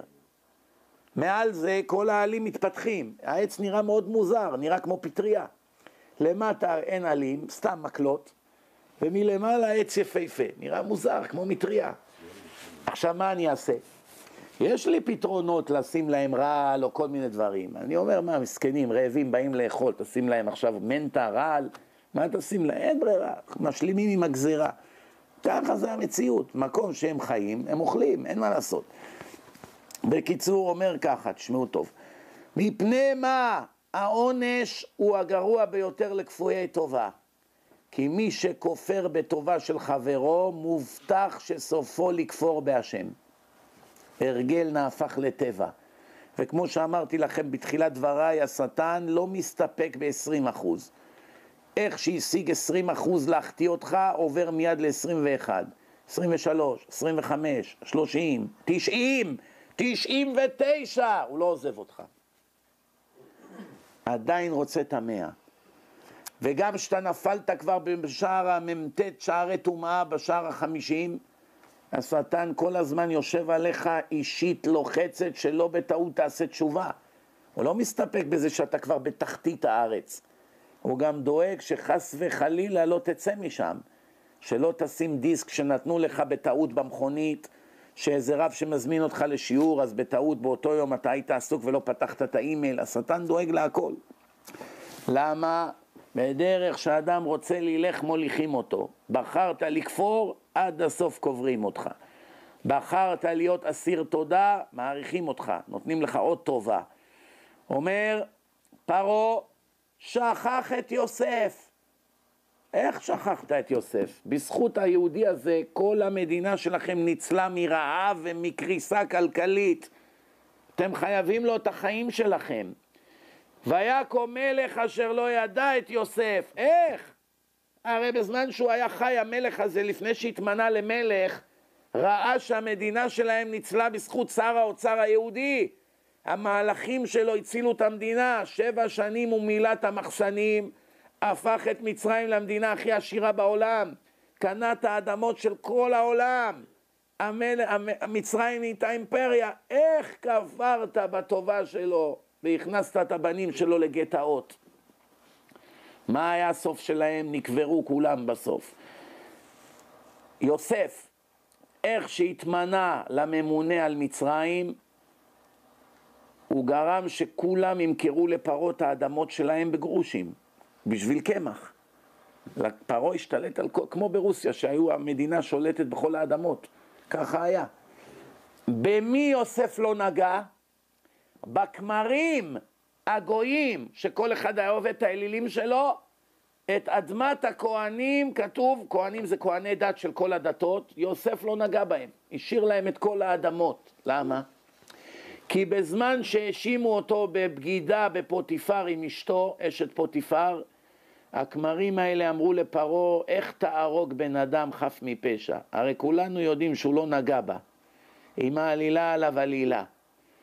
אבל אנחנו נאלצים להאמין לעלילה שלה כביכול, כדי לא לבייש את פוטיפר, שהוא שר בממשלת פרעה. מה נגיד? שהיא זנתה עם היהודי בן 17? מה נגיד? אלא מה? אנחנו מעמידים פנים, אבל יש גבול, איך נהרוג אותו? הרי אנחנו יודעים ששים אותו בכלא. אז הכל, הכל יבוא על מקומו בשלום. אנחנו כאילו משתפים פעולה, כאילו באמת הוא זנה. מצד שני, אנחנו לא עד כדי כך שנהרוג בן אדם שהאדם שלו נקי. בזכות העצה שלהם לפרעה, יוסף ניצל. במקום שלהרוג אותו, שמו אותו בכלא, והיום הוא כבר נהיה מושל במצרים. כל האדמות של כולם עברו לפרעה, באדמות שלהם הוא לא נגע, השאיר להם את האדמות ונתן להם אוכל. למה? כי צדיק הוא אינו כפוי טובה. כל היהדות מחנכת להכרת הטוב. אם ישאלו אותך פעם, תגיד לי במילה אחת מה זה כל היהדות. מילה אחת. מה תגיד? איך אפשר לתאר את כל היהדות במילה אחת? מה אתם אומרים? שאמרת, הכרת הטוב, הכרת הטוב זה שני מילים. או, מילה אחת? מילה אחת.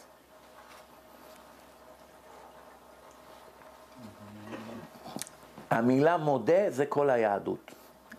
מודה יש לה שני משמעויות. מודה על האמת ומודה מלשון תודה.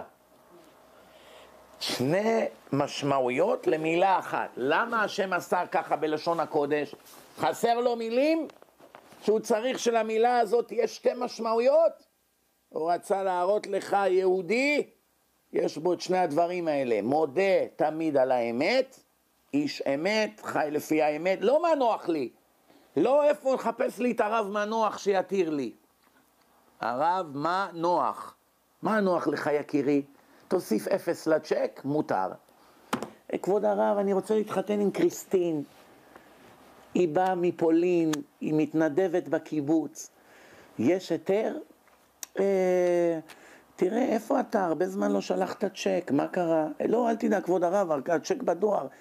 אה, אפשר לשאול אותך כמה הצ'ק? אה, אלף שקלים. תוסיף אפס ואנחנו כבר נראה איך נסדר את קריסטין. שתהיה צדק, צדיקה, נכניס אותה לוועדה של בית הכנסת. שומעים? מה זה השטויות האלה? מה זה השטויות האלה? יש אמת. מותר, אסור, נגמר. מה זה חשוב עכשיו? מה אתה חושב? כמה ישלמו, לא ישלמו? מה זה השטויות האלה? יהודי חייב לדבוק באמת מעל הכל. להגיד, אני יודע שמחלל שבת הוא מתועב בעיני השם, אני מודה, אני ראיתי שזה כתוב בתורה, אני אפס, בעזרת השם יום אחד אני אשמור שבת, תתפללו עליי. לא לבוא ולהגיד פנאט, מה אתה ממציא דברים? מי אמר לך שמחלל שבת יותר גרוע מרוצח? מה אתה ממציא דברים? מה פתאום, אתה משווה? אתה מראה לו את זה כתוב בתורה. עדיין הוא מסלף. עדיין מסלף. אתה אומר לו, אתה לא רואה? העונש של מחלל שבת בתורה יותר גרוע מהעונש של רוצח. מה, אתה לא קורא? קורא? בתורה. מה העונש של רוצח בתורה? איך? בחרב. מה העונש של רוצח? של מחלל שבת? מחלל שבת מות יומת, מות בעולם הזה יומת לחיי הנצח, ונכרתה הנפש ההיא מישראל. הורגים אותו בסקילה, שאין עונש יותר אכזרי ונורא מזה. אתה יודע מה זה סקילה? תדמיין רגע עכשיו בן אדם שוכב על הרצפה, לוקחים אבנים בגודל של מילון וזורקים לו על הראש. זה יותר גרוע מחרב שלא מרגישים כלום. חוץ מזה, זה בושה הרבה יותר גדולה, מלבישים אותו בכותונת, יש תהלוכה שלוקחים אותו להר וזורקים אותו, זו תהלוכה מאוד מאוד מביישת. והכי גרוע, זה מופיע בתורה 12 פעמים, לא, לא לחלל שבת ולא לרצוח שלוש פעמים. ועוד הכי גרוע גם, שעל רצח לא נאמר אותי ביני וביניכם. זאת אומרת, יש מציאות שיהודי ירצח, אבל הוא עדיין יהודי. ומחלל שבת, הוא מפסיק להיות יהודי עד שלא יתחיל לשמור שבת. אפילו שאימא שלו יהודייה. הוא לא נחשב יהודי בהלכה. מחלל שבת הרי הוא כגוי לכל דבר. זה הלכה בשבע מקומות שונים בשולחן ערוך. ואני, כידוע לך, לא כתבתי את השולחן ערוך. זה, כן, לפני מאות שנים. אז ממילא, זה כתוב, כל זה כתוב, אנחנו לא ממציאים דברים. דרך אגב, יש איזה צדיק אחד בארץ, שעשה כמה סרטונים שלי שכבר עושים מהפכה רצינית בארץ. הוא עשה סרטון של בערך 20 דקות, חצי שעה, מצמרר על מה זה חילול שבת. למה אני אומר מצמרר? כי אני לא ראיתי באף מקום שאספו את כל מה שכתוב על שבת לסרטון אחד. לא ראיתי באף מקום. כלומר, דרשנים מדברים על שבת, אבל צורה כזאת מרוכזת עם כל העונשים, עם השכר, עם התכלית, עם הסודות של שבת, מה זה בדיוק, בסרטון אחד לא היה. הוא עשה עבודה מאוד טובה.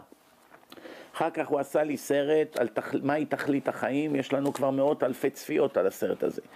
ועכשיו הוא עושה לי את הסרט הזה באנגלית, ויש לי הרגשה חזקה מאוד בלי עין הרע, שזה יגיע למיליונים, כי באנגלית אין לזה גבולות. והסרטים שהוא עושה הם ברמה של הוליווד. הן לא נופלות מכל סרט שאתם רואים היום בקולנוע. איכות, תמונה, משהו מדהים. כל שנייה מתחלף התמונה על המסך, באיכות הכי גבוהה שיש. אבל המסר חזק. בקיצור, קיבלנו, אני לא, יודע, לא רוצה להגיד מאות, אני ראיתי במו עיניי עשרות, יש הרבה יותר. במו עיניי ראיתי עשרות של תגובות של אנשים שאיך שראו את הסרטון הזה של שמירת שבת, מיד התחילו לשמור שבת. לא מחר, מיד באותה שבת שבאה. אמרו, אם היינו יודעים את הדברים האלה, מזמן היינו שומרי שבת. אני בכלל טוען קבל עם ועדה בלי שום ספק שבקלים. אין מציאות בעולם שחילוני יישאר שבת ברגע שאתה מוכיח לו שהתורה היא אמת, היא מבורא עולם, ואתה מוכיח לו מה המחיר שהוא ישלם על החילול שבת שלו. מוכיח! לא מספר לו סיפורים שהוא עדיין מספק. ואפשר להוכיח, ועובדה שאני הוכחתי את זה לאין סוף אנשים. הרגע, ברגע שהוא מבין שעכשיו בפעם הבאה שהוא ידליק סיגריה או שידליק חשמל או טלוויזיה בשבת, המחיר שלו יהיה קשה מנשוא, הידיים שלו רועדות. אולי הוא יעשה את זה עוד פעם, פעמיים, וישרף לו הלב כל פעם שהוא עושה את זה, הוא בסוף לא יוכל לעמוד בזה, אלא אם כן הוא גוי. אם הוא גוי הוא לא ירגיש שום דבר, הוא ימשיך חופשי. איך הוא... הוא חושב שהוא יהודי. הנה היום שלח לי אחד, אני יכול לקרוא לכם את ההודעה. כל יום יש לי כאלה, כל יום לפחות אחד כזה. ילד צדיק, מסכן, נער צעיר, 15, 16. התחיל לשמוע הרצאות שלי, כבר שנה הוא שומע, חזר בתשובה מלאה. עכשיו מתברר שאימא שלו הייתה גויה בזמן שהוא נולד. היא התגיירה אחרי שהוא נולד. אז הוא גוי, המסכן הזה גוי. היום נודע לו שהוא גוי. אבל זה לא גם איך שמגדלים את הילד לחברה. מה עושים? כשמגיירים ילד, הוא טוען שאימא שלו גירה אותו שהוא היה בגיל כמה חודשים. אבל כשמגיירים תינוק, זה, זה רק התחלת התהליך. הגיור הוא לא סופי. בזמן שהוא מגיע לגיל בר מצווה צריכים להכניס אותו לבית דין, שהדיינים ישאלו אותו אם הוא מקבל על עצמו את שמירת המצוות ורוצה לחיות כיהודי. אם הוא אומר שכן, גומרים את הגיור. אם הוא אומר שלא, עוזבים אותו והוא חוזר להיות גוי. במקרה של הילד החמוד הזה, הוא כבר כמה שנים אחרי הבר מצווה, ואף אחד בכלל לא לקח אותו לא לבית דין, וממילא הוא גם לא שמר מצוות בזמן הבר מצווה. הוא לא קיבל על עצמו שום מצווה, ממילא הגיור שלו אף פעם לא תפס. וצריכים לגייר אותו מחדש, ובמציאות עכשיו אין לו אבא ואימא. ההורים הביולוגיים שלו הם לא ההורים שלו יותר. כי עכשיו שהוא התגייר, הוא לא שייך אליהם בכלל. דוגמה, אם אבא שלו היה יהודי כהן, והשם משפחה שלו זה כהן, הוא לא כהן.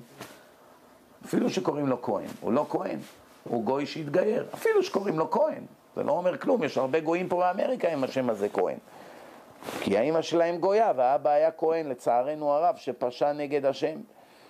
במילא רואים מכאן שיוסף שהיה צדיק הכיר טובה. פרעה שהיה רשע לא הכיר טובה. גם פוטיפר הרשע לא הכיר טובה. הוא היה צריך לשחרר את יוסף, לא להכניס אותו 12 שנה לבית האסורים על לא עוול בכפו.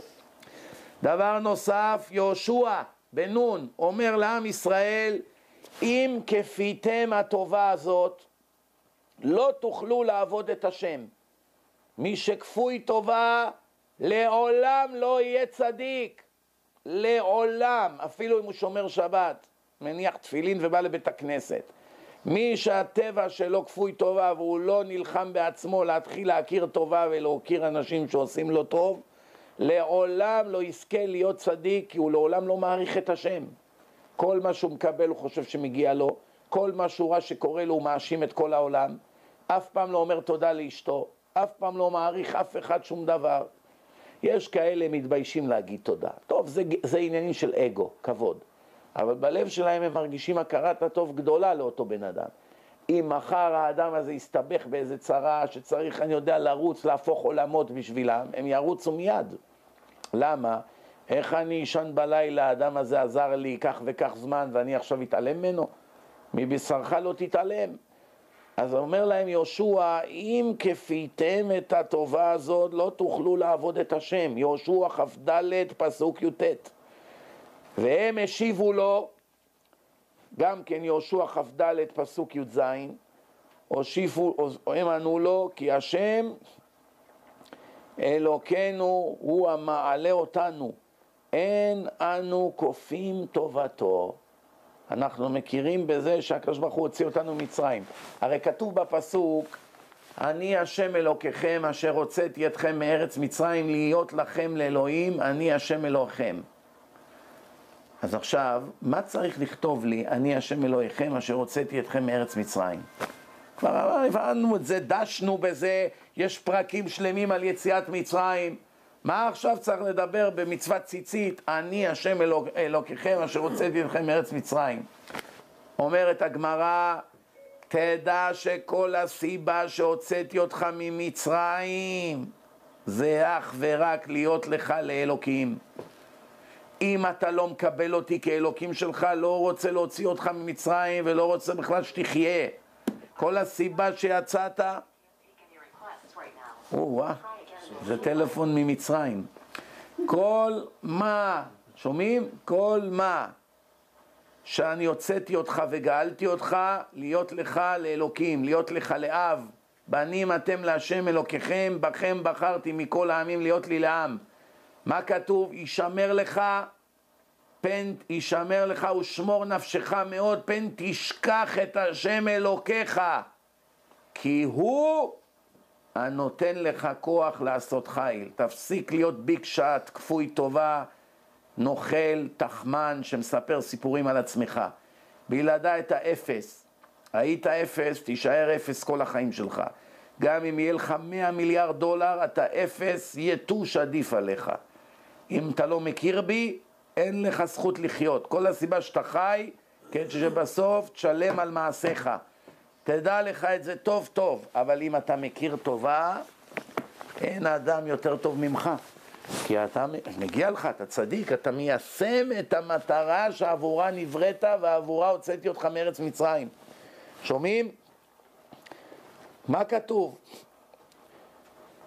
אומר לך הקדוש ברוך הוא, שמנת, אבית, כסית ושכחת אלוה. עם נבל, שם כתוב, יש פסוקים בתורה שמראים כמה הקדוש ברוך הוא כועס על כפויי טובה. כי מה השם אלוקיך שואל מעמך? כי אם ליראה, מה אני כבר מבקש ממך חצוף שכמוך? מה? כי אם ליראה את השם, רק מבקשים ממך שיהיה לך יראת שמיים. ממילא הכל כבר יבוא על מקומו בשלום. תעבוד על היראת שמיים שלך, תפסיק להיות טיפש, מה אתה נלחם בבורא עולם? איך אומרים בארץ? אתה מרטיב את הצבא, הצבא מתרטב. נרטב. הצבא מרטיב אותך, אתה תובע. קל וחומר השם, הוא קצת יותר גדול מהצבא, לא? אם השם מרטיב אותך, אתה תובע לנצח נצחים. אל תהיה טיפש. איך אומרים באנגלית? You can't beat him, join him. אתה רוצה להילחם בקדוש ברוך הוא? ראית את טיטוס שרצה להילחם בהשם, עשה שרירים, השם זעזע את האונייה שלו בים? בסוף, אחרי כל ההצגות שלו, אמר לקדוש ברוך הוא, אתה גיבור בים, את פרעה הטבעת בים, את סיסרא הטבעת בים, נראה אותך גבר, נתמודד איתי ביבשה. השם נתן לו להגיע ליבשה, הכניס לו יתוש קטן לאף, חדר לו לתוך הראש, אכל לו את כל המוח. שפתחו את הראש שלו, היתוש הגיע לגודל של ציפור קטנה. עכשיו היתוש הזה כל הזמן היה שורק לו בתוך הראש, איזה עונש נוראי. לא היה לו תרופה.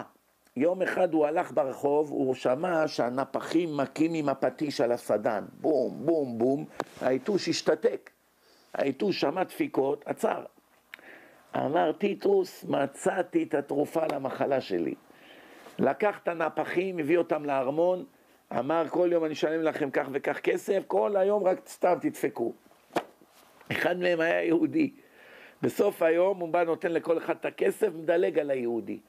אז היהודי אומר לו, מה איתי, אני לא עבדתי? אומר לו, לא מספיק, אתה יושב פה ומתמוגג לראות בנפילה של האויב שלך, כוונה על עצמו, אתה עוד רוצה לקבל על זה כסף?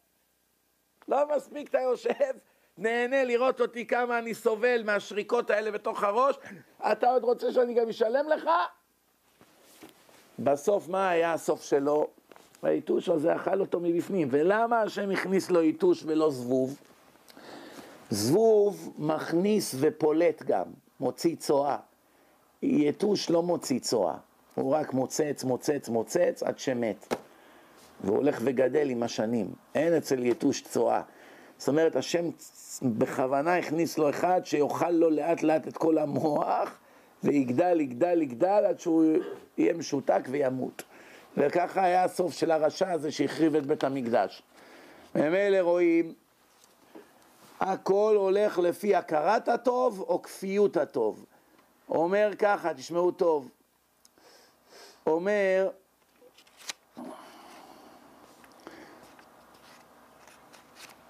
בחטא זה נכשלו בני ישראל במדבר. אמר להם משה לישראל, כפויי טובה, בני כפויי טובה.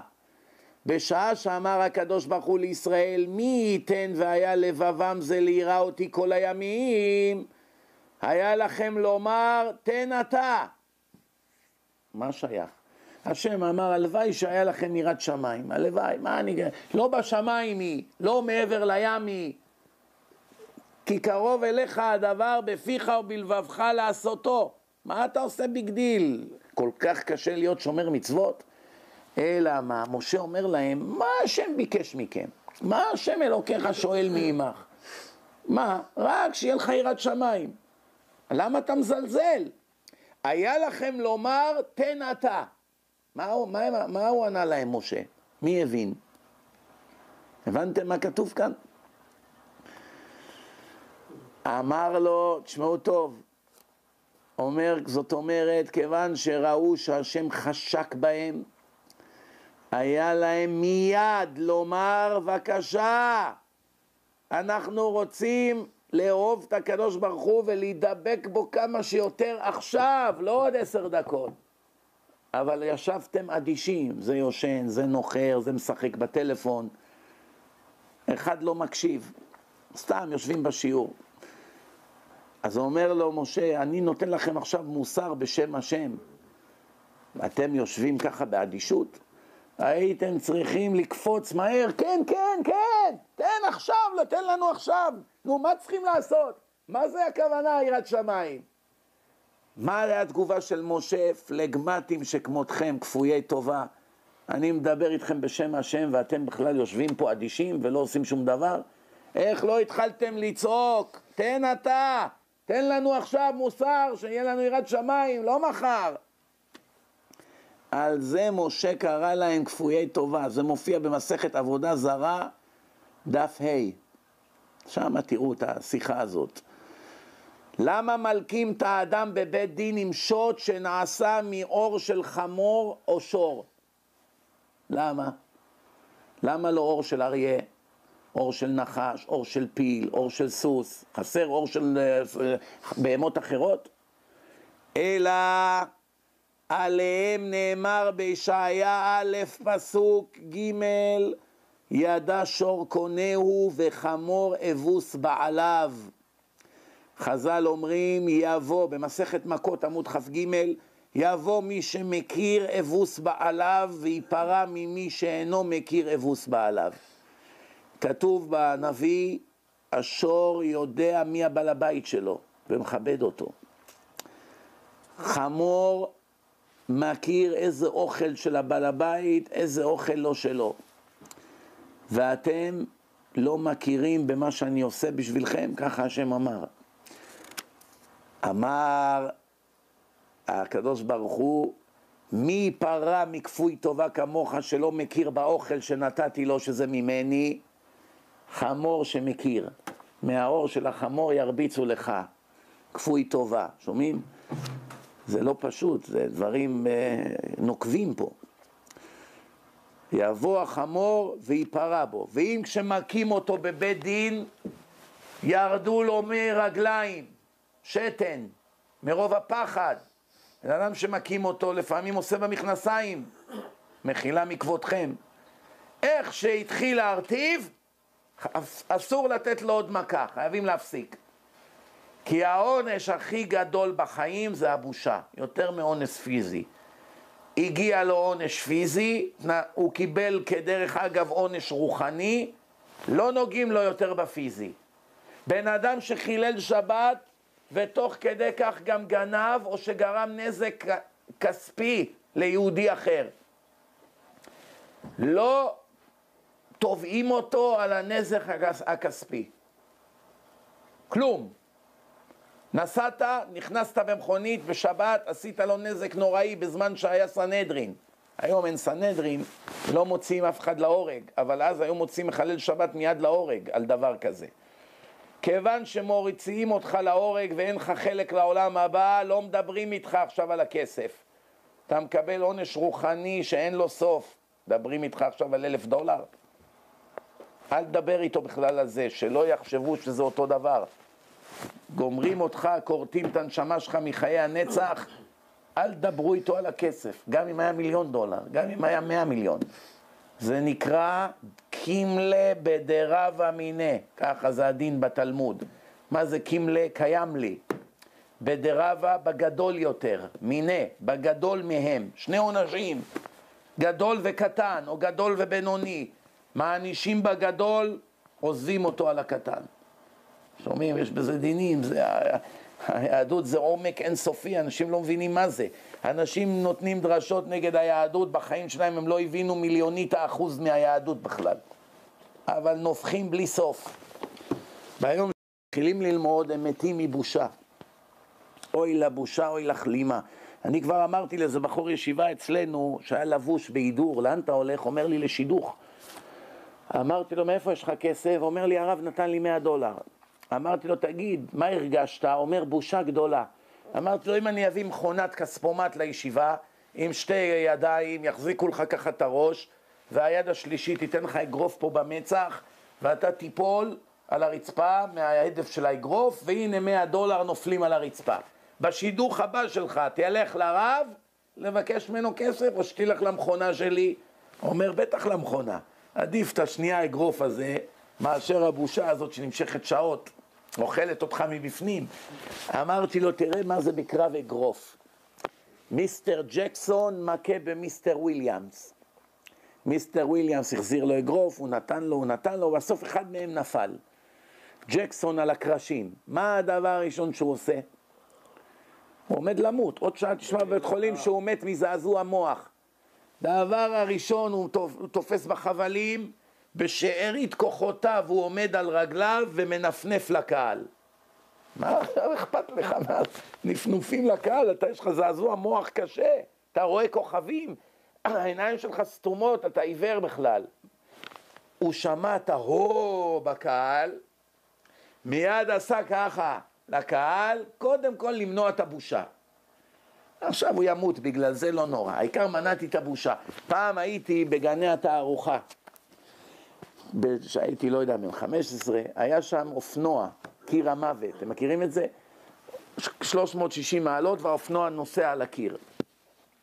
היה שם איזה גוי עם קסדה, ככה עם מעיל אור, עושה הצגות, ככה מתחמם לקראת המופע, וכולם ככה בהתלהבות, והוא נוסע, פתאום היה, יודע, נזל לו קצת שמן מהאופנוע, הגלגל האחורי שלו החליק, הוא עף ככה עם האופנוע על הקיר ונפל. איזה חבטה הוא קיבל, אני הייתי בטוח שהוא מת לגמרי. בום, מה זה נפילה? פתאום, ככה, בקושי, לקח לו איזה שתיים, שלוש שניות, הוא קם, עושה ככה, הוציא את הקסדה, מחייך ככה לקהל וכולם מוחאים לו כפיים. היום אני מבין את העומק של הדברים. מה, תן לי כאבי מוות פיזיים. עכשיו באותו רגע יש לי כאב נפשי, שזה בושה, הכאבים הפיזיים לא קיימים. לא קיימים בכלל.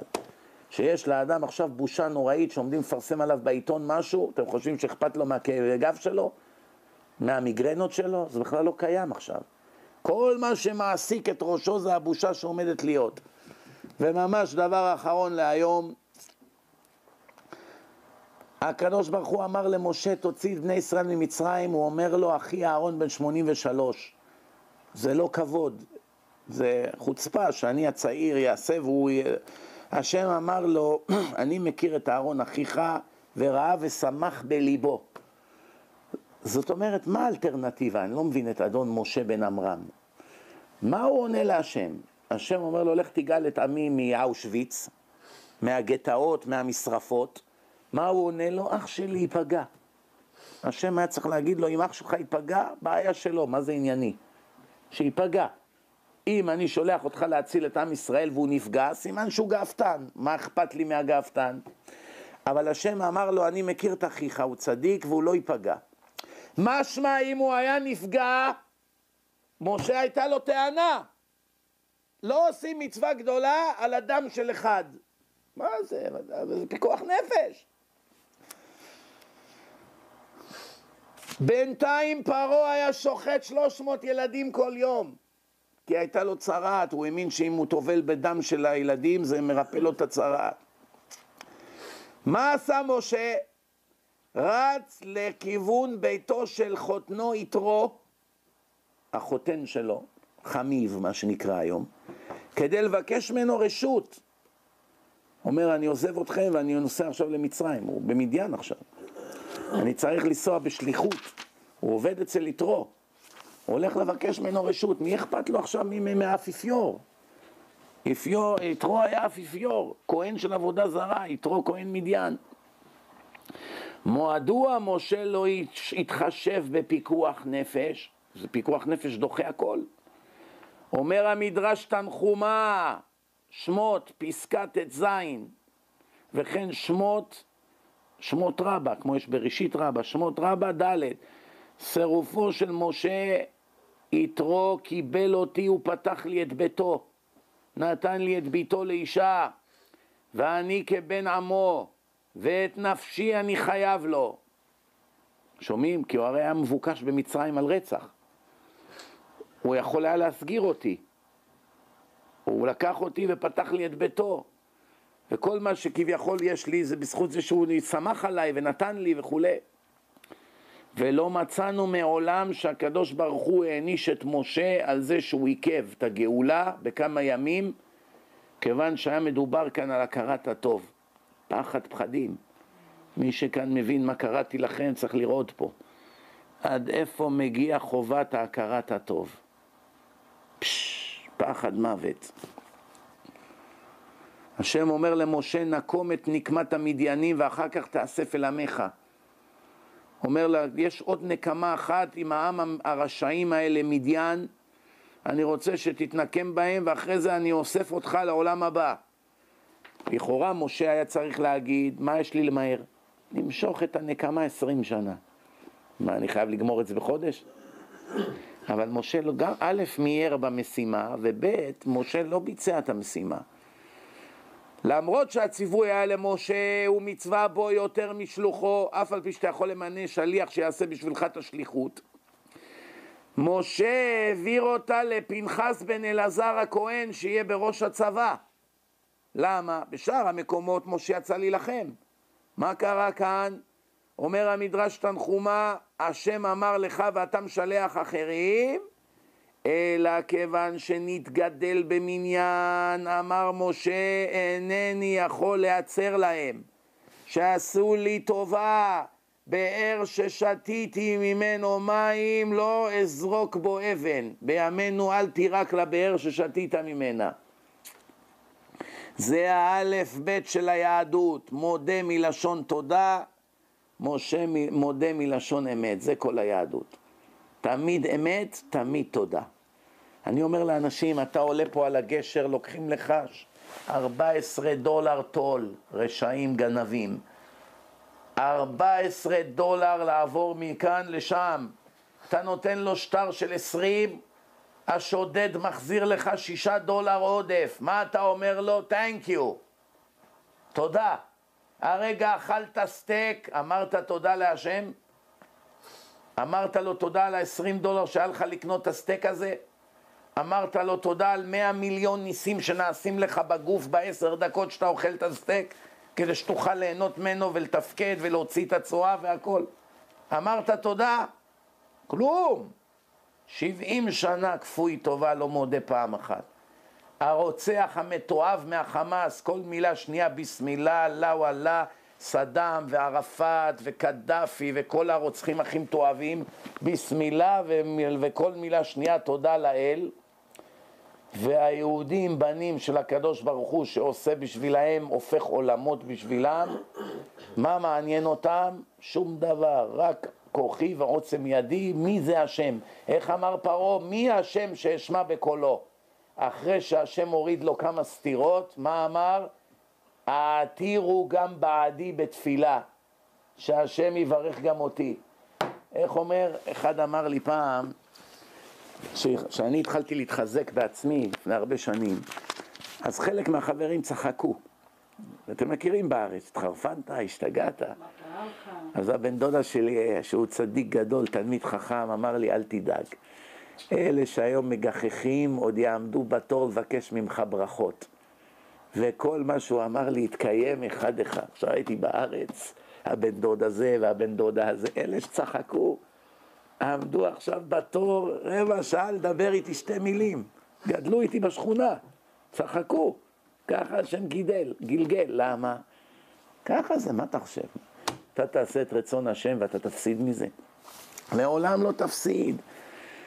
חייבים הכרת הטוב לחמורים.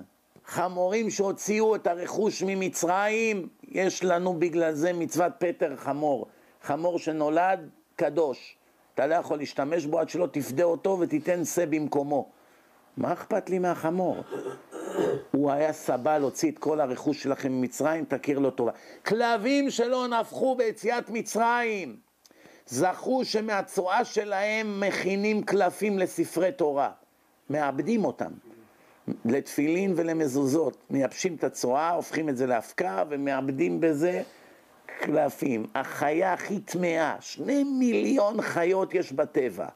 התורה אמרה, הכלב הוא הטמא יותר מכולם, יותר מחזיר, יותר מכולם כלב מבחינה רוחנית, לא פיזית, הוא הכי טמא.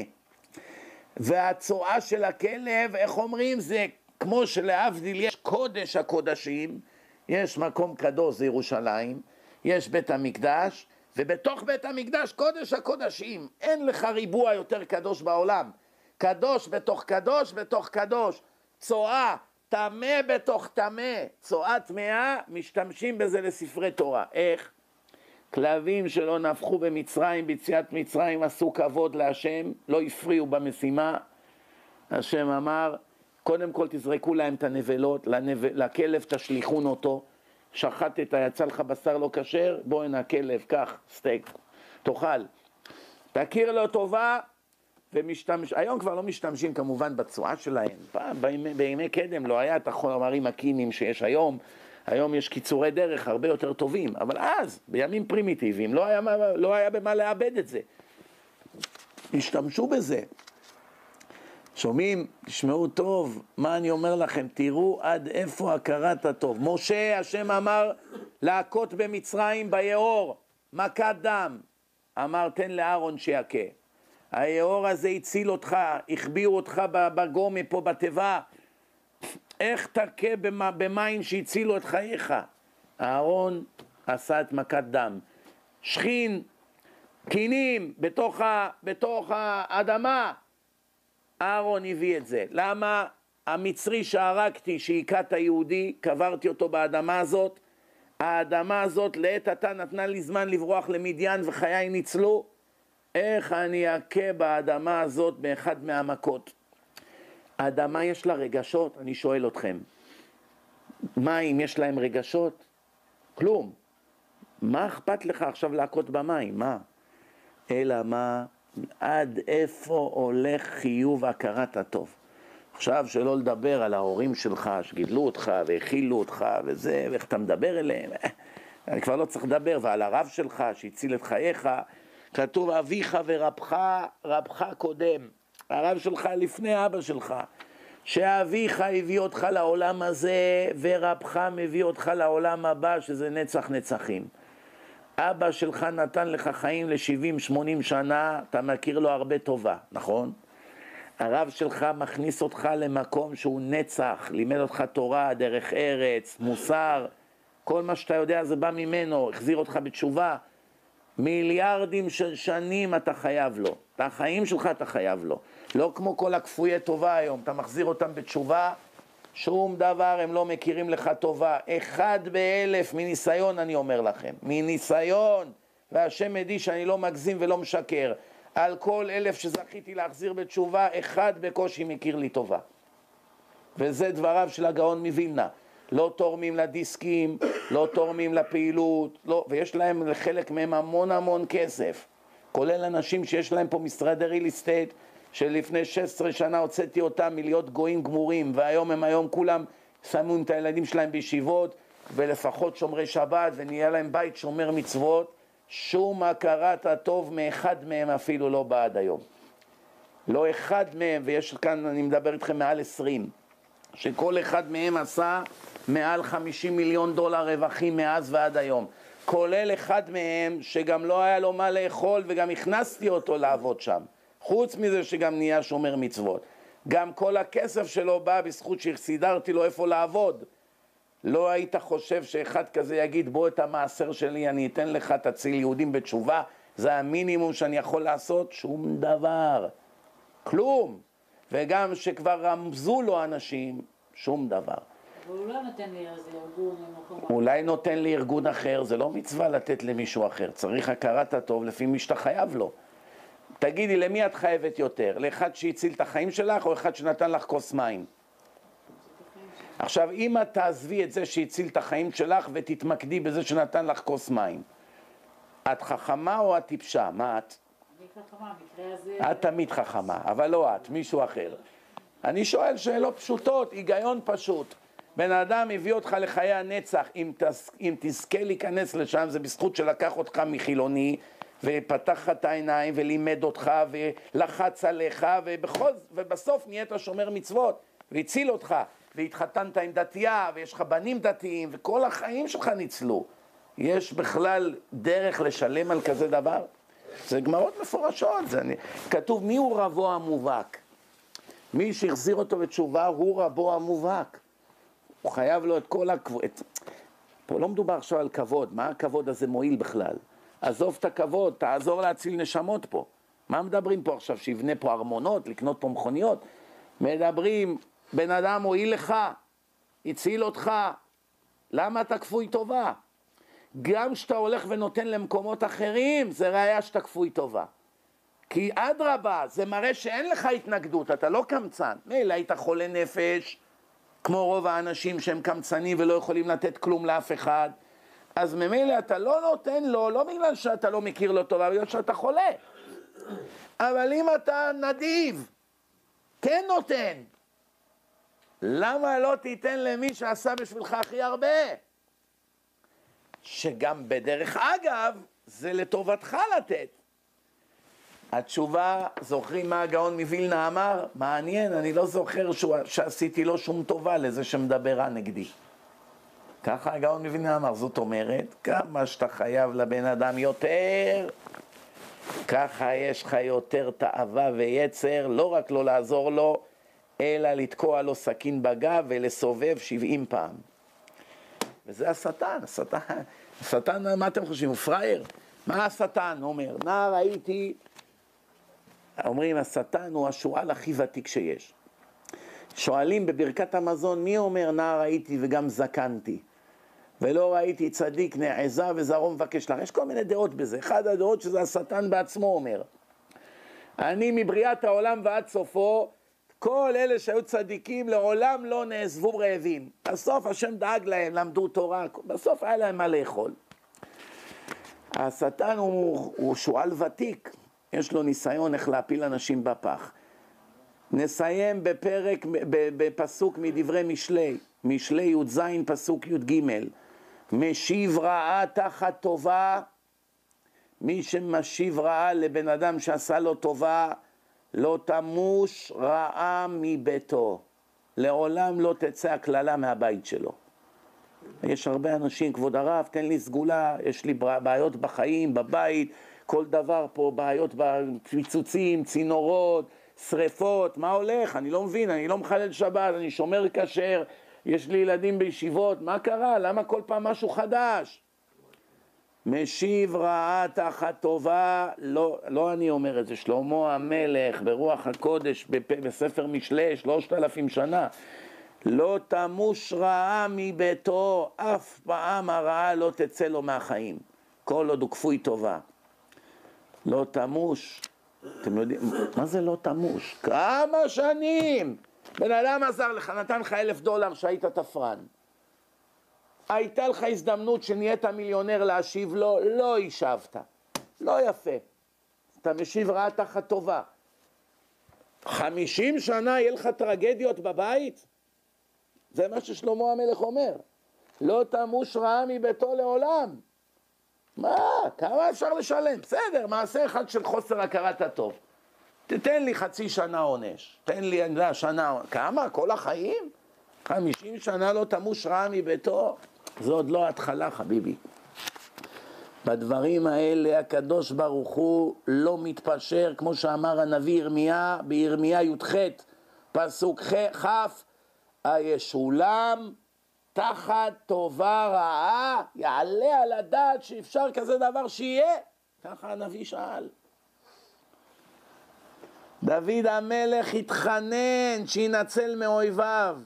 ככה הוא אמר, השם אלוקיי, אם עשיתי זאת, אם יש עוול בכפי, אם הייתי כפוי טובה לשאול, אם חטאתי, אם גמלתי שולמי רעה, אם זה שעשה לי טוב החזרתי לו רע, ירדוף אויב נפשי וישג וירמוס לארץ חיי.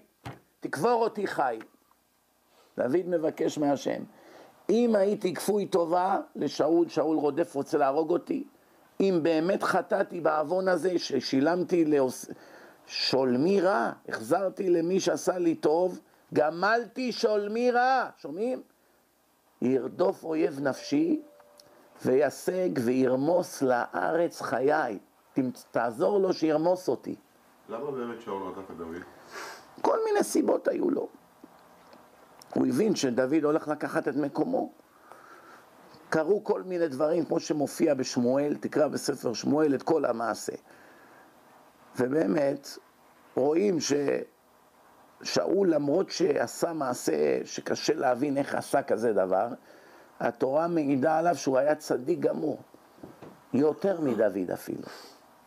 ויצאו ממנו מרדכי ואסתר שהצילו את כל עם ישראל בזכות הצדיקות שלו. כך הגמרא אומרת, שלא יהיה אי הבנות פה. זה לפעמים. דבר נוסף, אומרת הגמרא, תשמעו טוב, בלעם, הקדוש ברוך הוא אמר לו, למה תכה את האתון? האתון, האתון דיברה, הקדוש ברוך הוא שם בפי החמור, אומר לו, אתה, אתה רכבת עליי, אני משרתת אותך כל ימיי ואתה מכה אותי? אז כתוב, על מה הכית את אתונך? אפילו על החמור אומרים לו, למה אתה כפוי טובה? אתה רוכב על החמור הזה, למה אתה כפוי טובה? כתוב, לא תחסום שור בדישו. שור אוכל, אל תחסום אותו. מה באמת הכוונה? שור וחמור, אל תרתום אותם ביחד במחרשה. אחד הולך מהר, השני הולך לאט, השני יהיה לו צער בעלי חיים, הוא לא עומד בקצב. הוא בא לאכול, מה אתה חוסם אותו? אלה משרתים אותך. לפני שאתה אוכל אתה צריך להאכיל את הבהמות שלך. שומעים מה מדובר כאן?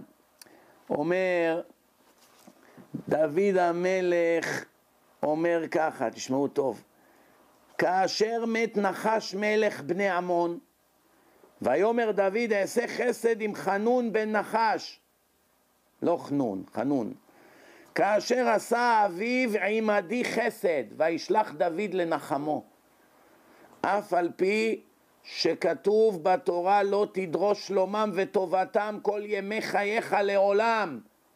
דוד אמר הכרת הטוב זה מעל. אבא שלו עשה טובה, אני חייב ללכת לנחם אותו על אבא שלו שנפטר.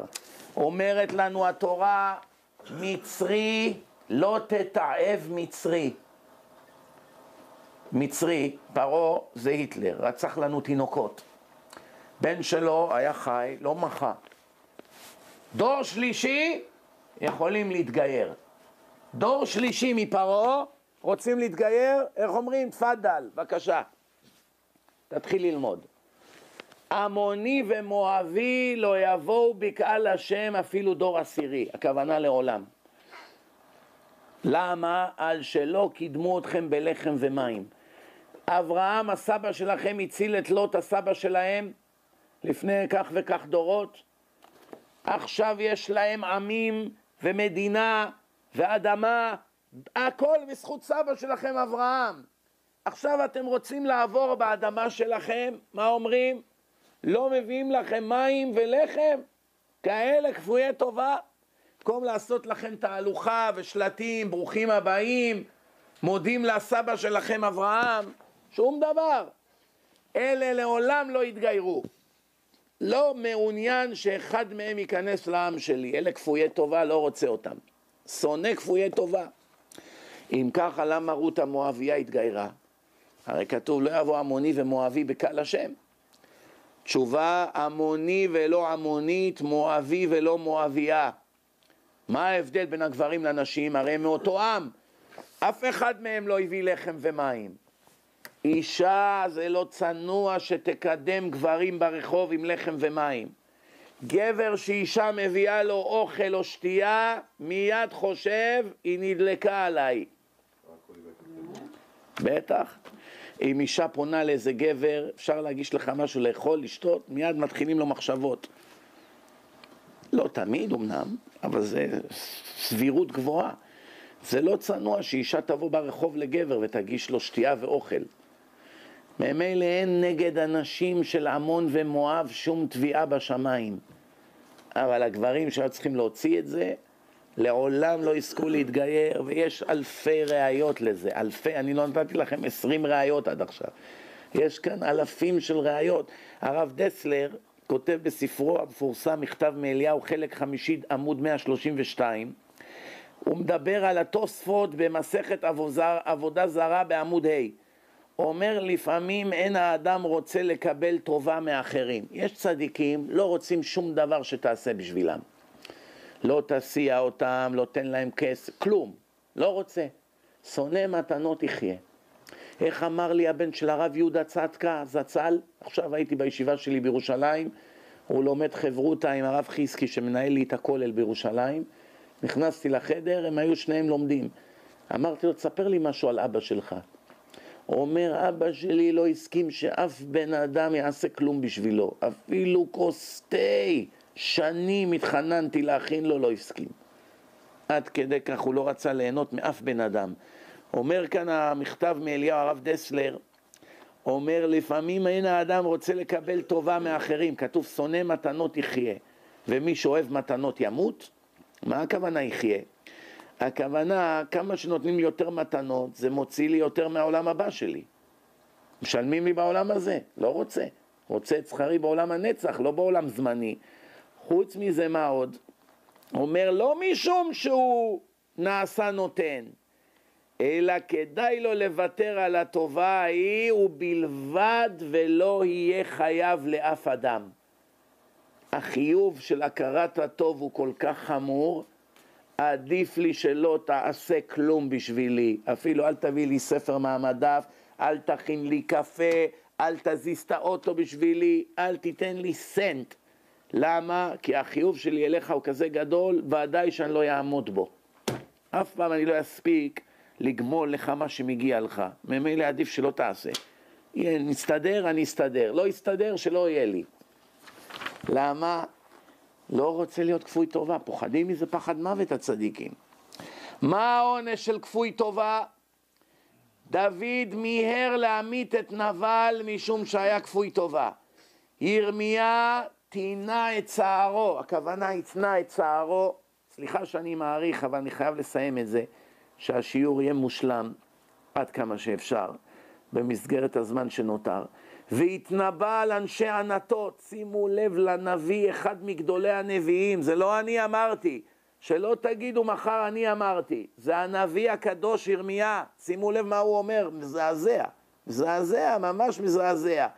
אומר, הישולם תחת טובה רעה, איך אתה, אומר לקדוש ברוך הוא, איך אתה נותן לרשעים האלה של העיר ענתות להמשיך להצליח?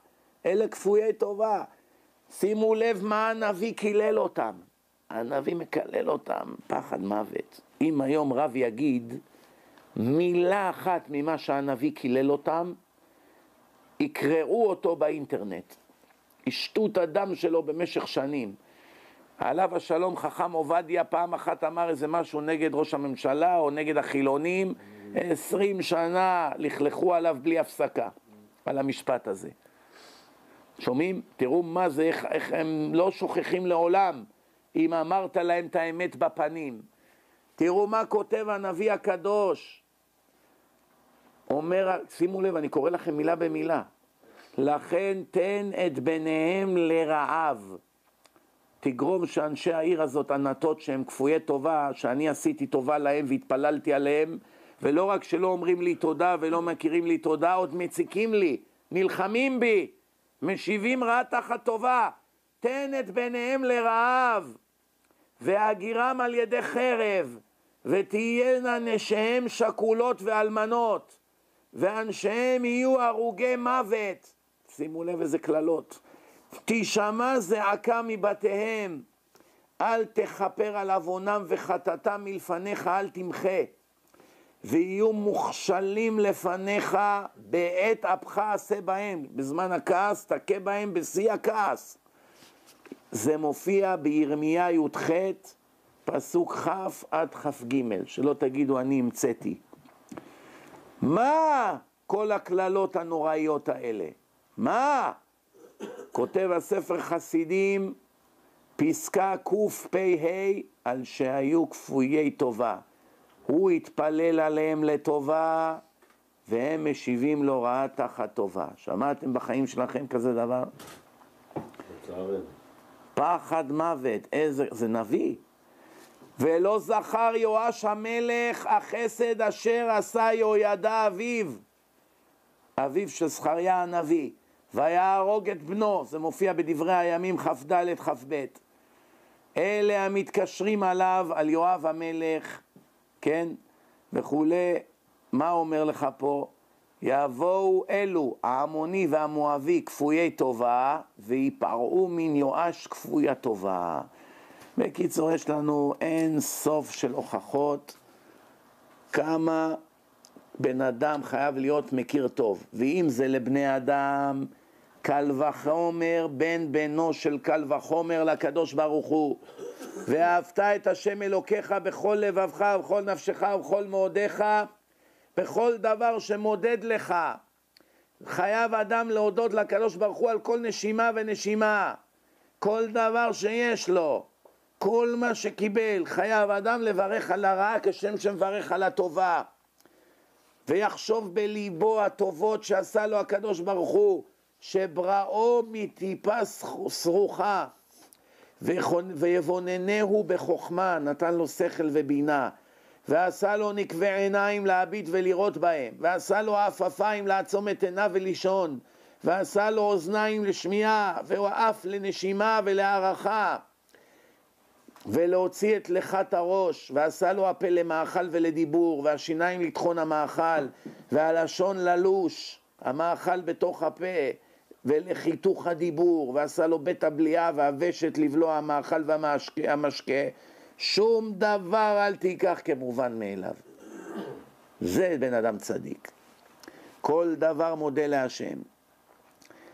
כשמביאים ביקורים לבית המקדש, התורה ציוותה בדברים כ"ו שתי קריאות בן אדם צריך להגיד שמביא ביקורים, שלא תבוא בידיים ריקות, השם אמר, ולא יראה פניך ריקם בבואך בבית הבחירה, שזה בית המקדש, ואמרת אליו, וענית ואמרת, מה כתוב? עשיתי כאשר ציווה אותי השם, מה שנתן לי וכולי, ולקחת מראשית פרי האדמה וכולי, ושמת בתנא והלכת אל המקום אשר יבחר השם לשכן שמו שם, ובאת אל הכהן ואמרת אליו, מה? הגעתי היום להשם אלוקיי, אלוקיך, כי באתי אל הארץ אשר נשבע לאבותינו לתת לנו. לאות הכרת הטוב אני מביא עכשיו סלסלה עם הפירות הכי יפים שיצאו לי מהפרדס. למה? אני לא כפוי טובה. שומעים? ועתה הבאתי את ראשית פרי האדמה אשר נתת לי, והשתחווית לפני השם אלוקיך. מה הפירוש? הנה אני, אני לא כפוי טובה. איך יעקב אמר להשם? אם תברך אותי ותשמור אותי בדרך, כל דבר שתיתן לי, עשר העשרנו לך. כל דולר שתיתן לי, מיד עשרה אחוז אני נותן לך. איך? מחזיר יהודים בתשובה, לעשות לך נחת רוח, עוזר לעניים ולאלמנות, תומך בישיבות, תומך בכל מה שאפשר.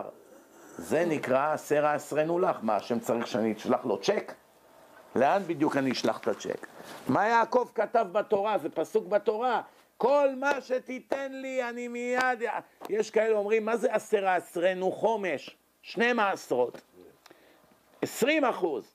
ויש הרבה שנותנים עשרים אחוז מהנטו שלהם. שומעים? יש לי עוד הרבה מה לומר. איך אומרים, את מה שהשכל חושק, הזמן נושק. ולא נשאר לנו זמן, אבל אני מבטיח לכם שיש לנו אין סוף דברים שמוכיחים כמה אסור להיות כפוי טוב. יש, חייב אדם לומר מאה ברכות בכל יום, להודות להשם, מאה לפחות. כל הדברים האלה, הכל הכרת הטוב, הכרת הטוב, הכרת הטוב. זה כל היהדות, זה כל הלימוד, זה כל המוסר, זה כל המצווה, זה כל מה שכתוב, הכל מתחיל ונגמר בהכרת הטוב. תפילין, זכר ליציאת מצרים. שבת, זכר ליציאת מצרים. קידוש, זכר ליציאת מצרים. ברית מילה, זכר ליציאת מצרים. כל המצוות, זכר ליציאת מצרים. מה? זכר ליציאת מצרים. שלושת אלפים שנה, עזוב כבר, דחילה, כמה אפשר להודות? עוד לא התחלת להודות. מה אתה חושב? גידלנו פה דור של שוטים כפויי טובה היום בעולם. שימו לב, רק תן לי ותן לי. פעם היה קני דלך, קרי פלח, הכל לך, לך, לך. היום הכל נהיה לי, ביס לי, קין לי, הכל לי, לי, לי, לי. השמות גם השתנו. כי היום כמה שאתה עושה לאדם לא מספיק לו. כמה. יש גם נשים כאלה, כמה שהבעל עושה להם לא מספיק. קחי עוד כרטיס אשראי, קחי מכונית חדשה, קחי עוד מנקה, קחי עוזר, קחי עוד מטפלת. מה היא אומרת? כבוד הרב, בעלי, סליחה, הוא קמצן. ואז אתה מגיע לבית שלו. אני אומר לכם, אני ראיתי כזה דבר. יש אחת שבעלה נתן לבית של ארבעה מיליון דולר בשכונה הכי יוקרתית באמריקה. ארבעה מיליון דולר בית. חמש נשים עובדות בשבילה, שתי מטפלות, שתי מנקות ועוד גנן. מכונית חדשה יוקרתית, תכשיטים במאות אלפי דולרים. והיא אמרה, בעלי לא בעל טוב, קמצן. לא. מה היא בדיוק רצתה? שהוא יגיש לה סטייק שעשוי מזהב? מה עוד הוא לא נתן לה? אז אני, מה עשיתי? שלחתי אותה עם בעלה, בזמן שהם נסעו לארץ, לראות את החבר'ה שלי בישיבה, איך הם חיים. שלחתי אותה לרב שמנהל לי את הכולל, שאמרתי לכם עליו קודם. עלו לבית שלו, אין מעלית, זה בניין בירושלים מלפני מאה שנה, כן? עלו לקומה שלישית, איך שהיא נכנסה ראתה את המטבחון הקטן עם עשרה יושב... ילדים יושבים על הרצפה ומשחקים והאימא עומדת ביניהם ומבשלת ואיך הבית בנוי עם קרשים ו... ונזילה פה ו... ו... היא אמרה, איך הם חיים ככה? פתאום היא התאהבה בבית שלה. היה לה איזה חודש שהיא העריכה מה יש לה. זה האנשים. טוב, אנחנו ניפגש בעזרת השם בשיעור הבא. תודה רבה על הקשבתכם, לילה טוב וכל